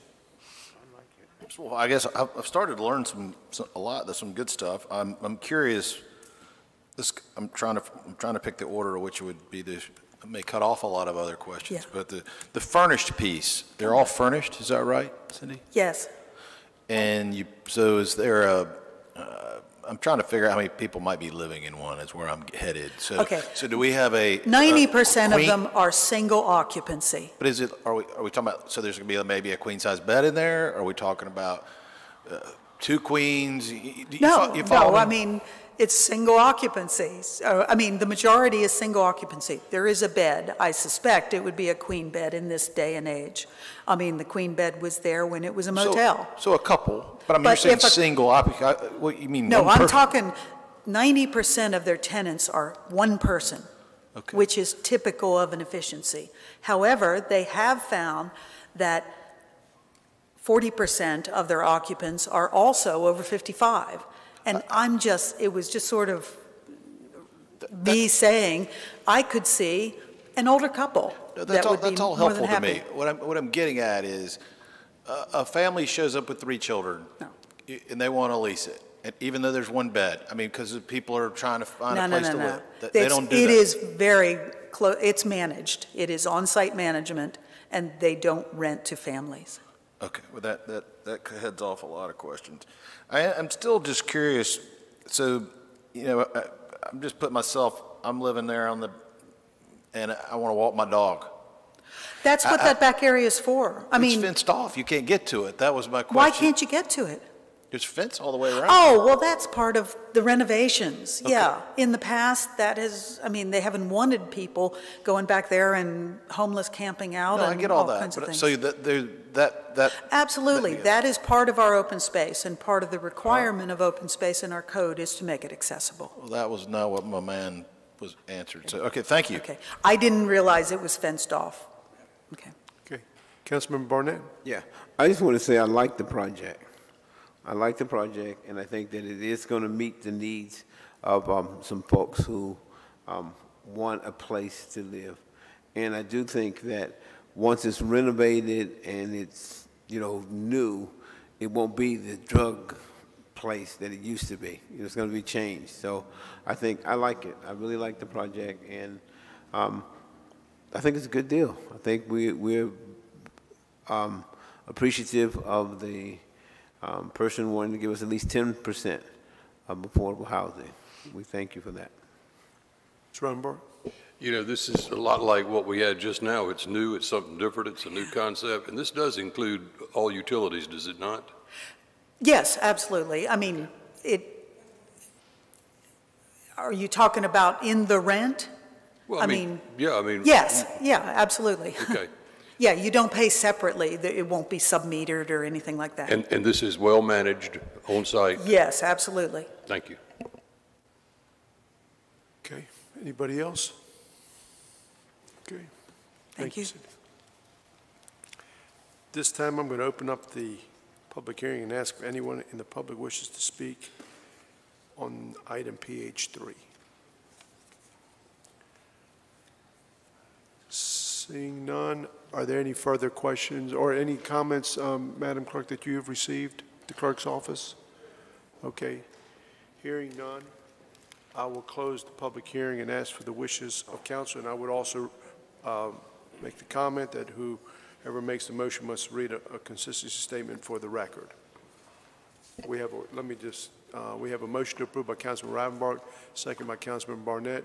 Mr. Rivenbark, will you please read the consistency statement? Yes, sir. I move to approve the proposed amendment to, excuse me, I move to approve the proposed amendment to rezone the property located at 4903 Market Street from RB Regional Business to multifamily dash high-density CD multiple family high-density conditional district to allow the conversion of an existing 224-room hotel use to a 234-unit apartment complex and find it to be consistent with the relevant policies in the comprehensive plan based on the application materials and the information provided at the public hearing and in the staff report, and to find approval of the rezoning request as reasonable and in the public interest for the following reasons.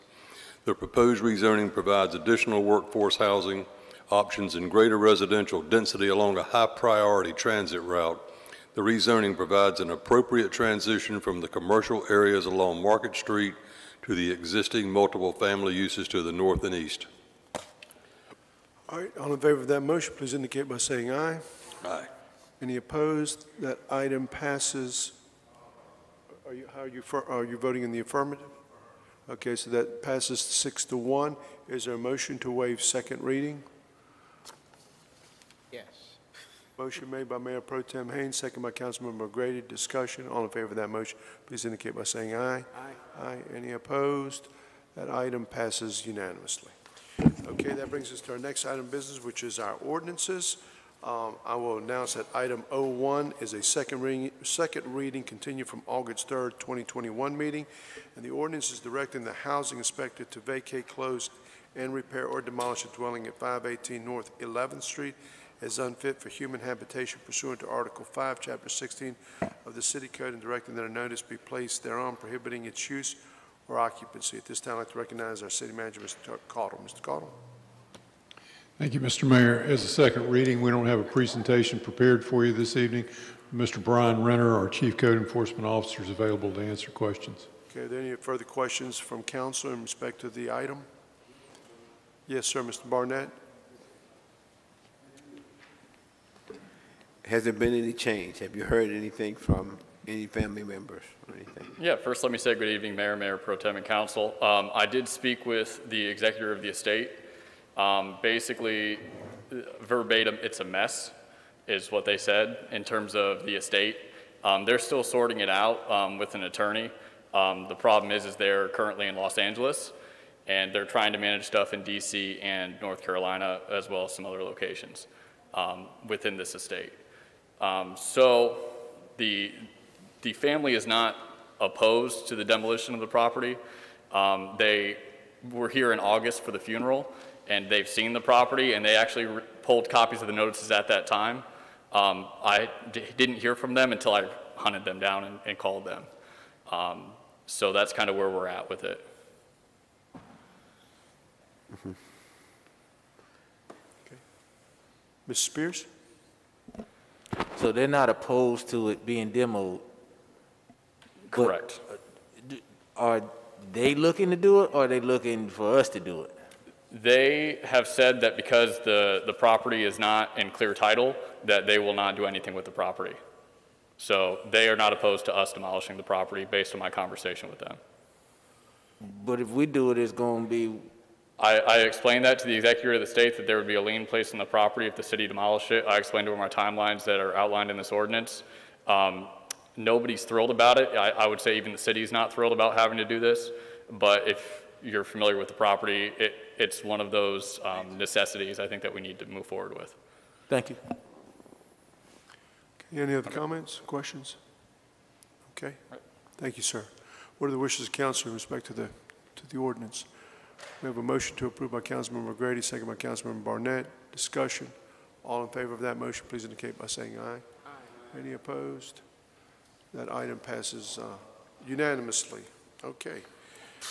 Item O2 is an ordinance appropriating fund balance from the general fund for a grant to support the development of Eden Village of Wilmington, North Carolina. At this time, I'd like to recognize our city manager, Mr. Tony Caudle. Mr. Caudle?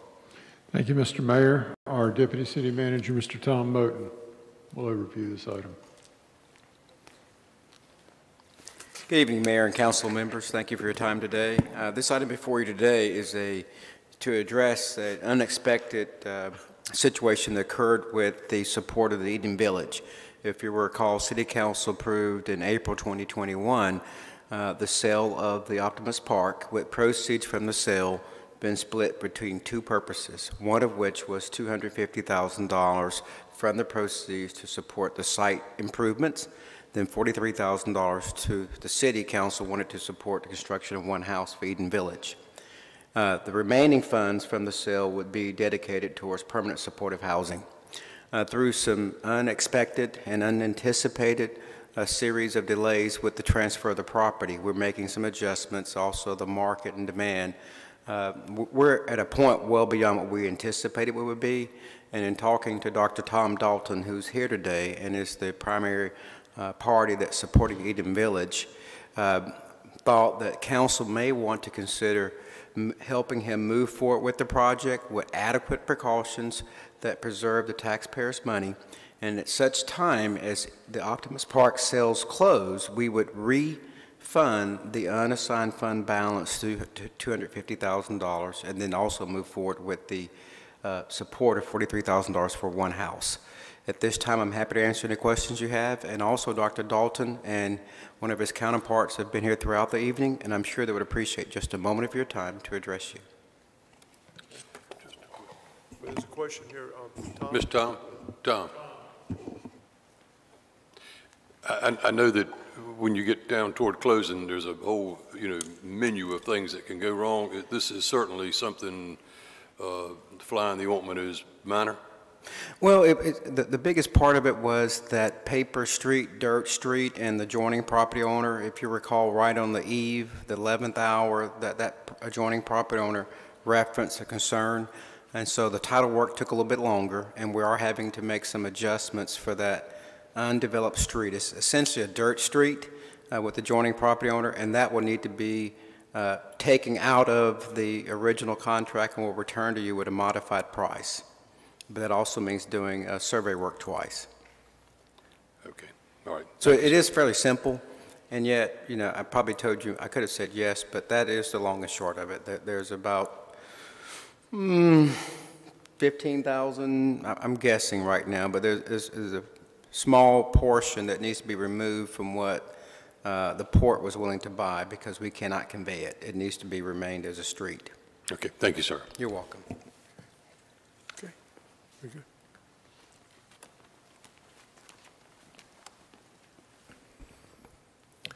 Good evening, Mayor, council members. I'm Tom Dalton. This is Sean Hayes. We're leading the effort to build Eden Village of Wilmington. As you may know, we're a 501c3, building a tiny home community for the chronically homeless near the Creekwood neighborhood. We've asked for financial assistance to build the infrastructure for our village. and We have commitments from you for the sale of Optimus Park, which you were hoping would total $293,000. We'll take anything that you're willing to give us. And we'll use these funds directly to pay for the infrastructure for our discounted contractors involved in the project. Our infrastructure build has been estimated at $891,000. Our total construction budget is $4.2 million. During this time of fluctuation, actual construction costs are difficult to pin down, but we have some great people working on it. Our construction project is being managed by the engineers at Coastal Land Design, the architectural firm of LS3P, construction company Quarter Thompson Construction, as well as the overall management of the project by Thomas Construction. Most of the work that these groups have done on our behalf have been done in a pro bono fashion, for which we are eternally grateful. Any money that you give us will be put to good use, and uh, the returns for the city will uh, be multiplied many times. We need your help. I also like to invite all of you to our clubhouse groundbreaking this Saturday, October 9th at 11:30 at 1302 Kornegay. It's open to the public. We'll be joined by the founders of Eden Village in Springfield, Missouri. We'll have our clubhouse plans on display, an opportunity to tour our model home, some music and food for all. You can also watch some videos about our project at edenvillagewilmington.org, and we hope you go there. Happy to answer any questions. Any questions? Mr. Roundball? You sure got an impressive team. Thank you. Yeah. It's a, we have over 900 donors, 1,500 people signed up to help. Uh, that has been the best part of the project, sitting in the chairs in the tiny home with uh, amazing folks throughout our community. Yes. Councilman Barnett? Yeah, um, just want to say I love the project and especially the uh, wraparound services that you're going to give the people who get into those homes. You know, because you're going to be with them for a whole year, which is um, ideal. I appreciate you. Thank you. Okay. I know you've been working hard on this, and that it's, we greatly appreciate it, and it's one of the initiatives that is trying to help us um, get our handle around some of the homeless issues that we're seeing and have been seeing for quite some time, but we really appreciate your effort on this. It's a good project. Thank you. Thank you. Okay, so now with that, we have a motion to approve by Councilmember Spears, second by Councilmember Barnett. Any further discussion? All in favor of that motion, please indicate by saying aye. Aye. Any opposed? That item passes unanimously. Um, Do we have a motion to waive second reading? Motion made by Councilmember Spears, second by Mayor Pro Tem Haynes. Discussion, all in favor of that motion, please indicate by saying aye. Any opposed? That item passes unanimously on first as well as second reading. Okay, that brings us to our next item, which is item 03A, which is an ordinance appropriating funds to, to- for the City Hall slash Thalian Hall HVAC improvements project in the amount of 1,596,000. And then item 03B is a resolution awarding a construction contract to Monteith Construction Corporation of Wilmington, North Carolina for the City Hall slash Thalian Hall HVAC improvements project in the amount of $2,497,800. At this time, I'd like to recognize our city manager, Mr. Tony Caudle. Mr. Caudle? Thank you, Mr. Mayor. Our Public Services Director, Dave Mays, will overview this project for us.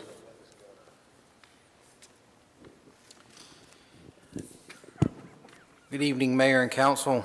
Um, The ordinance before you uh, appropriates uh, 176,000 from installment financing and 1.42 million from the ARP funding that uh, the city received uh, into the project. Um, The resolution awards a contract to Monteith Construction uh, in the amount of $2.497 uh, million. Um, This project will basically replace all of the components of the HVAC system uh, within the building. Um, Most of those components are in excess of uh, 30, maybe 35 years old. Uh, Two main components have already been replaced, that being the chiller as well as the boiler. Some of the improvements that we expect to see from this, improved uh, air quality. Um, We're going to have a higher degree of uh, filtration, and we're also being, uh, we're- we'll be introducing outside air into the makeup air that goes into the heating and ventilation system. Um, And with that, I'd be happy to answer any questions that you may have. There- I- I'm sorry? Quieter, yes, sir. Yeah. Do they have any questions for Dave? Okay. Thank you, Mr. Mays. Thank you. What are the wishes of council in respect to uh, the item, the ordinance appropriating the funds for the City Hall, Thalian Hall, for 1,596,000? We have a motion approved by Councilman Rivenbark, second by Councilmember Grady. Discussion. All in favor of that motion, please indicate by saying aye. Any opposed? That item passes unanimously on first reading. Is there a motion to waive second reading? Motion made by Councilman Rivenbark, second by Councilmember O'Grady. Discussion. All in favor of that motion, please indicate by saying aye. Aye. Any opposed? That item passes unanimously on second reading. That brings us to our next item, which is item 03B, which is the resolution awarding the construction contract to Monteith Construction Corporation of Wilmington, North Carolina for the City Hall slash Thalian Hall HVAC Improvement Project, the amount of $2,497,800. What are the wishes of council in respect to that? We have a motion made by Mayor Pro Tem Haynes, second by Councilmember Barnett. Discussion. All in favor of that motion, please indicate by saying aye. Aye. Any opposed? That item passes unanimously. Okay, that brings us to our next item of business, which is our resolutions. Item R1 is a resolution temporarily modifying the paid leave policy for the city of Wilmington. At this time, I'd like to recognize our city manager, Ms. Tony Caudle. Mr. Caudle? Thank you, Mr. Mayor. Interim Deputy City Manager Al Ragland will overview this item for us.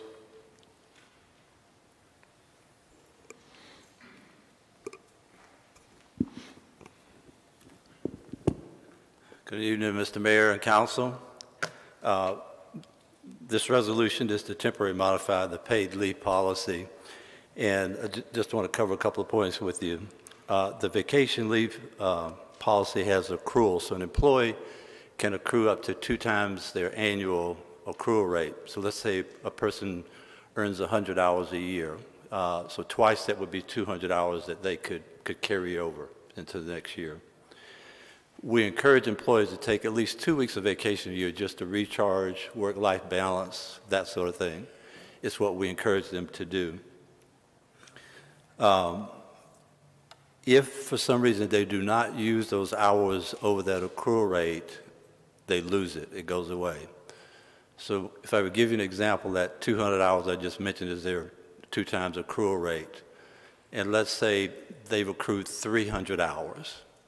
If they don't take the two weeks of vacation, that's 80 hours. So that 300 hours would be reduced by 80. So now they have an accrual of 220 hours. Well, what happens at 20 hours over the accrual, you said? Well, that goes to transferred sick leave. And the transferred sick leave is what they would use, they could use if they got sick. Uh, It is also used if they accumulated over their lifetime, that it is used toward their retirement calculation. So let me give an example. Let's say an employee's got 29 and a half years of service. And let's say over those 29 and a half years, they've accrued a half a year of sick time. So now they have, toward the, the calculation, 30 years of service versus 29 and a half years of service. So it goes toward their cal- that calculation. What we're asking is, is to temporarily suspend them losing that two weeks that they can't take. And the reason is because of COVID, uh, some staff shortages, uh, we just did not want to do that this year, given this pandemic situation.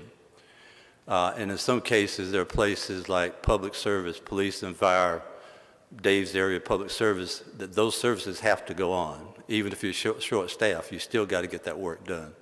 So what we're asking is this year is to suspend that, them losing that two weeks of vacation that they just are just not able to take right now. Ms. Rumbar? Just for this fiscal year we're in?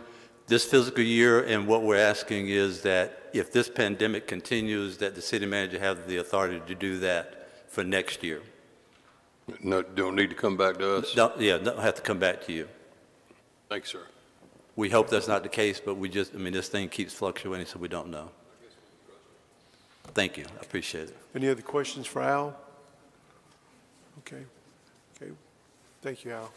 What are the wishes of council? We have a motion to approve by Councilmember Barnett, second by Councilmember Grady. Discussion. All in favor of that motion, please indicate by saying aye. Aye. Any opposed? Item passes unanimously. This concludes the regular agenda. Are there any items brought forward by our city attorney?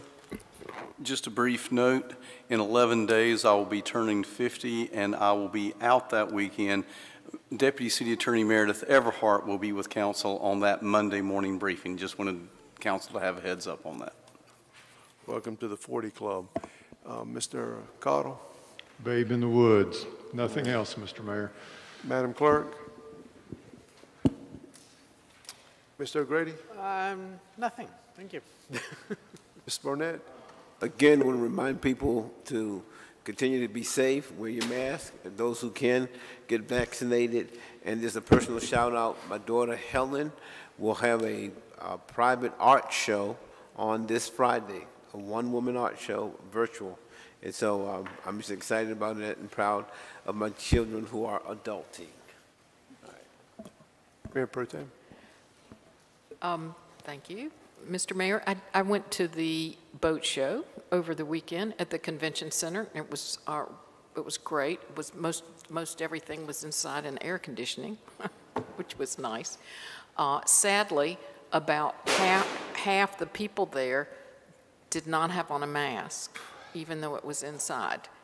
And, um, you know, there were kids there, young people, old people, and it was just really disappointing. So um, it, it is the law of the land in this county, and you're supposed to wear a mask whenever you're inside, and it's public buildings and, and private buildings. When you're in your home, obviously you don't have to wear it, but, you know, please take care of yourself. We don't want to lose anybody else. Okay. Mr. Rivenbark? Yes, I'd just like to compliment our PIO and the new magazine that we've got going out. Uh, We're right up there with uh, Wrightsville Beach Magazine and everything else. If you hadn't seen it, it's really, it's really special. I got mine today. Mr. Anderson? Nothing major. I just, it was, I went to um, GFL, the Greenfield Lake Amphitheater last week for the first time since the pandemic. And I know we've had the li, the lights bright downtown and all the new, our new shiny toy. But I'll tell you, that sure is a special place. Um, it, it, it was awesome. So uh, we're very blessed to have two uh, amphitheaters of that quality.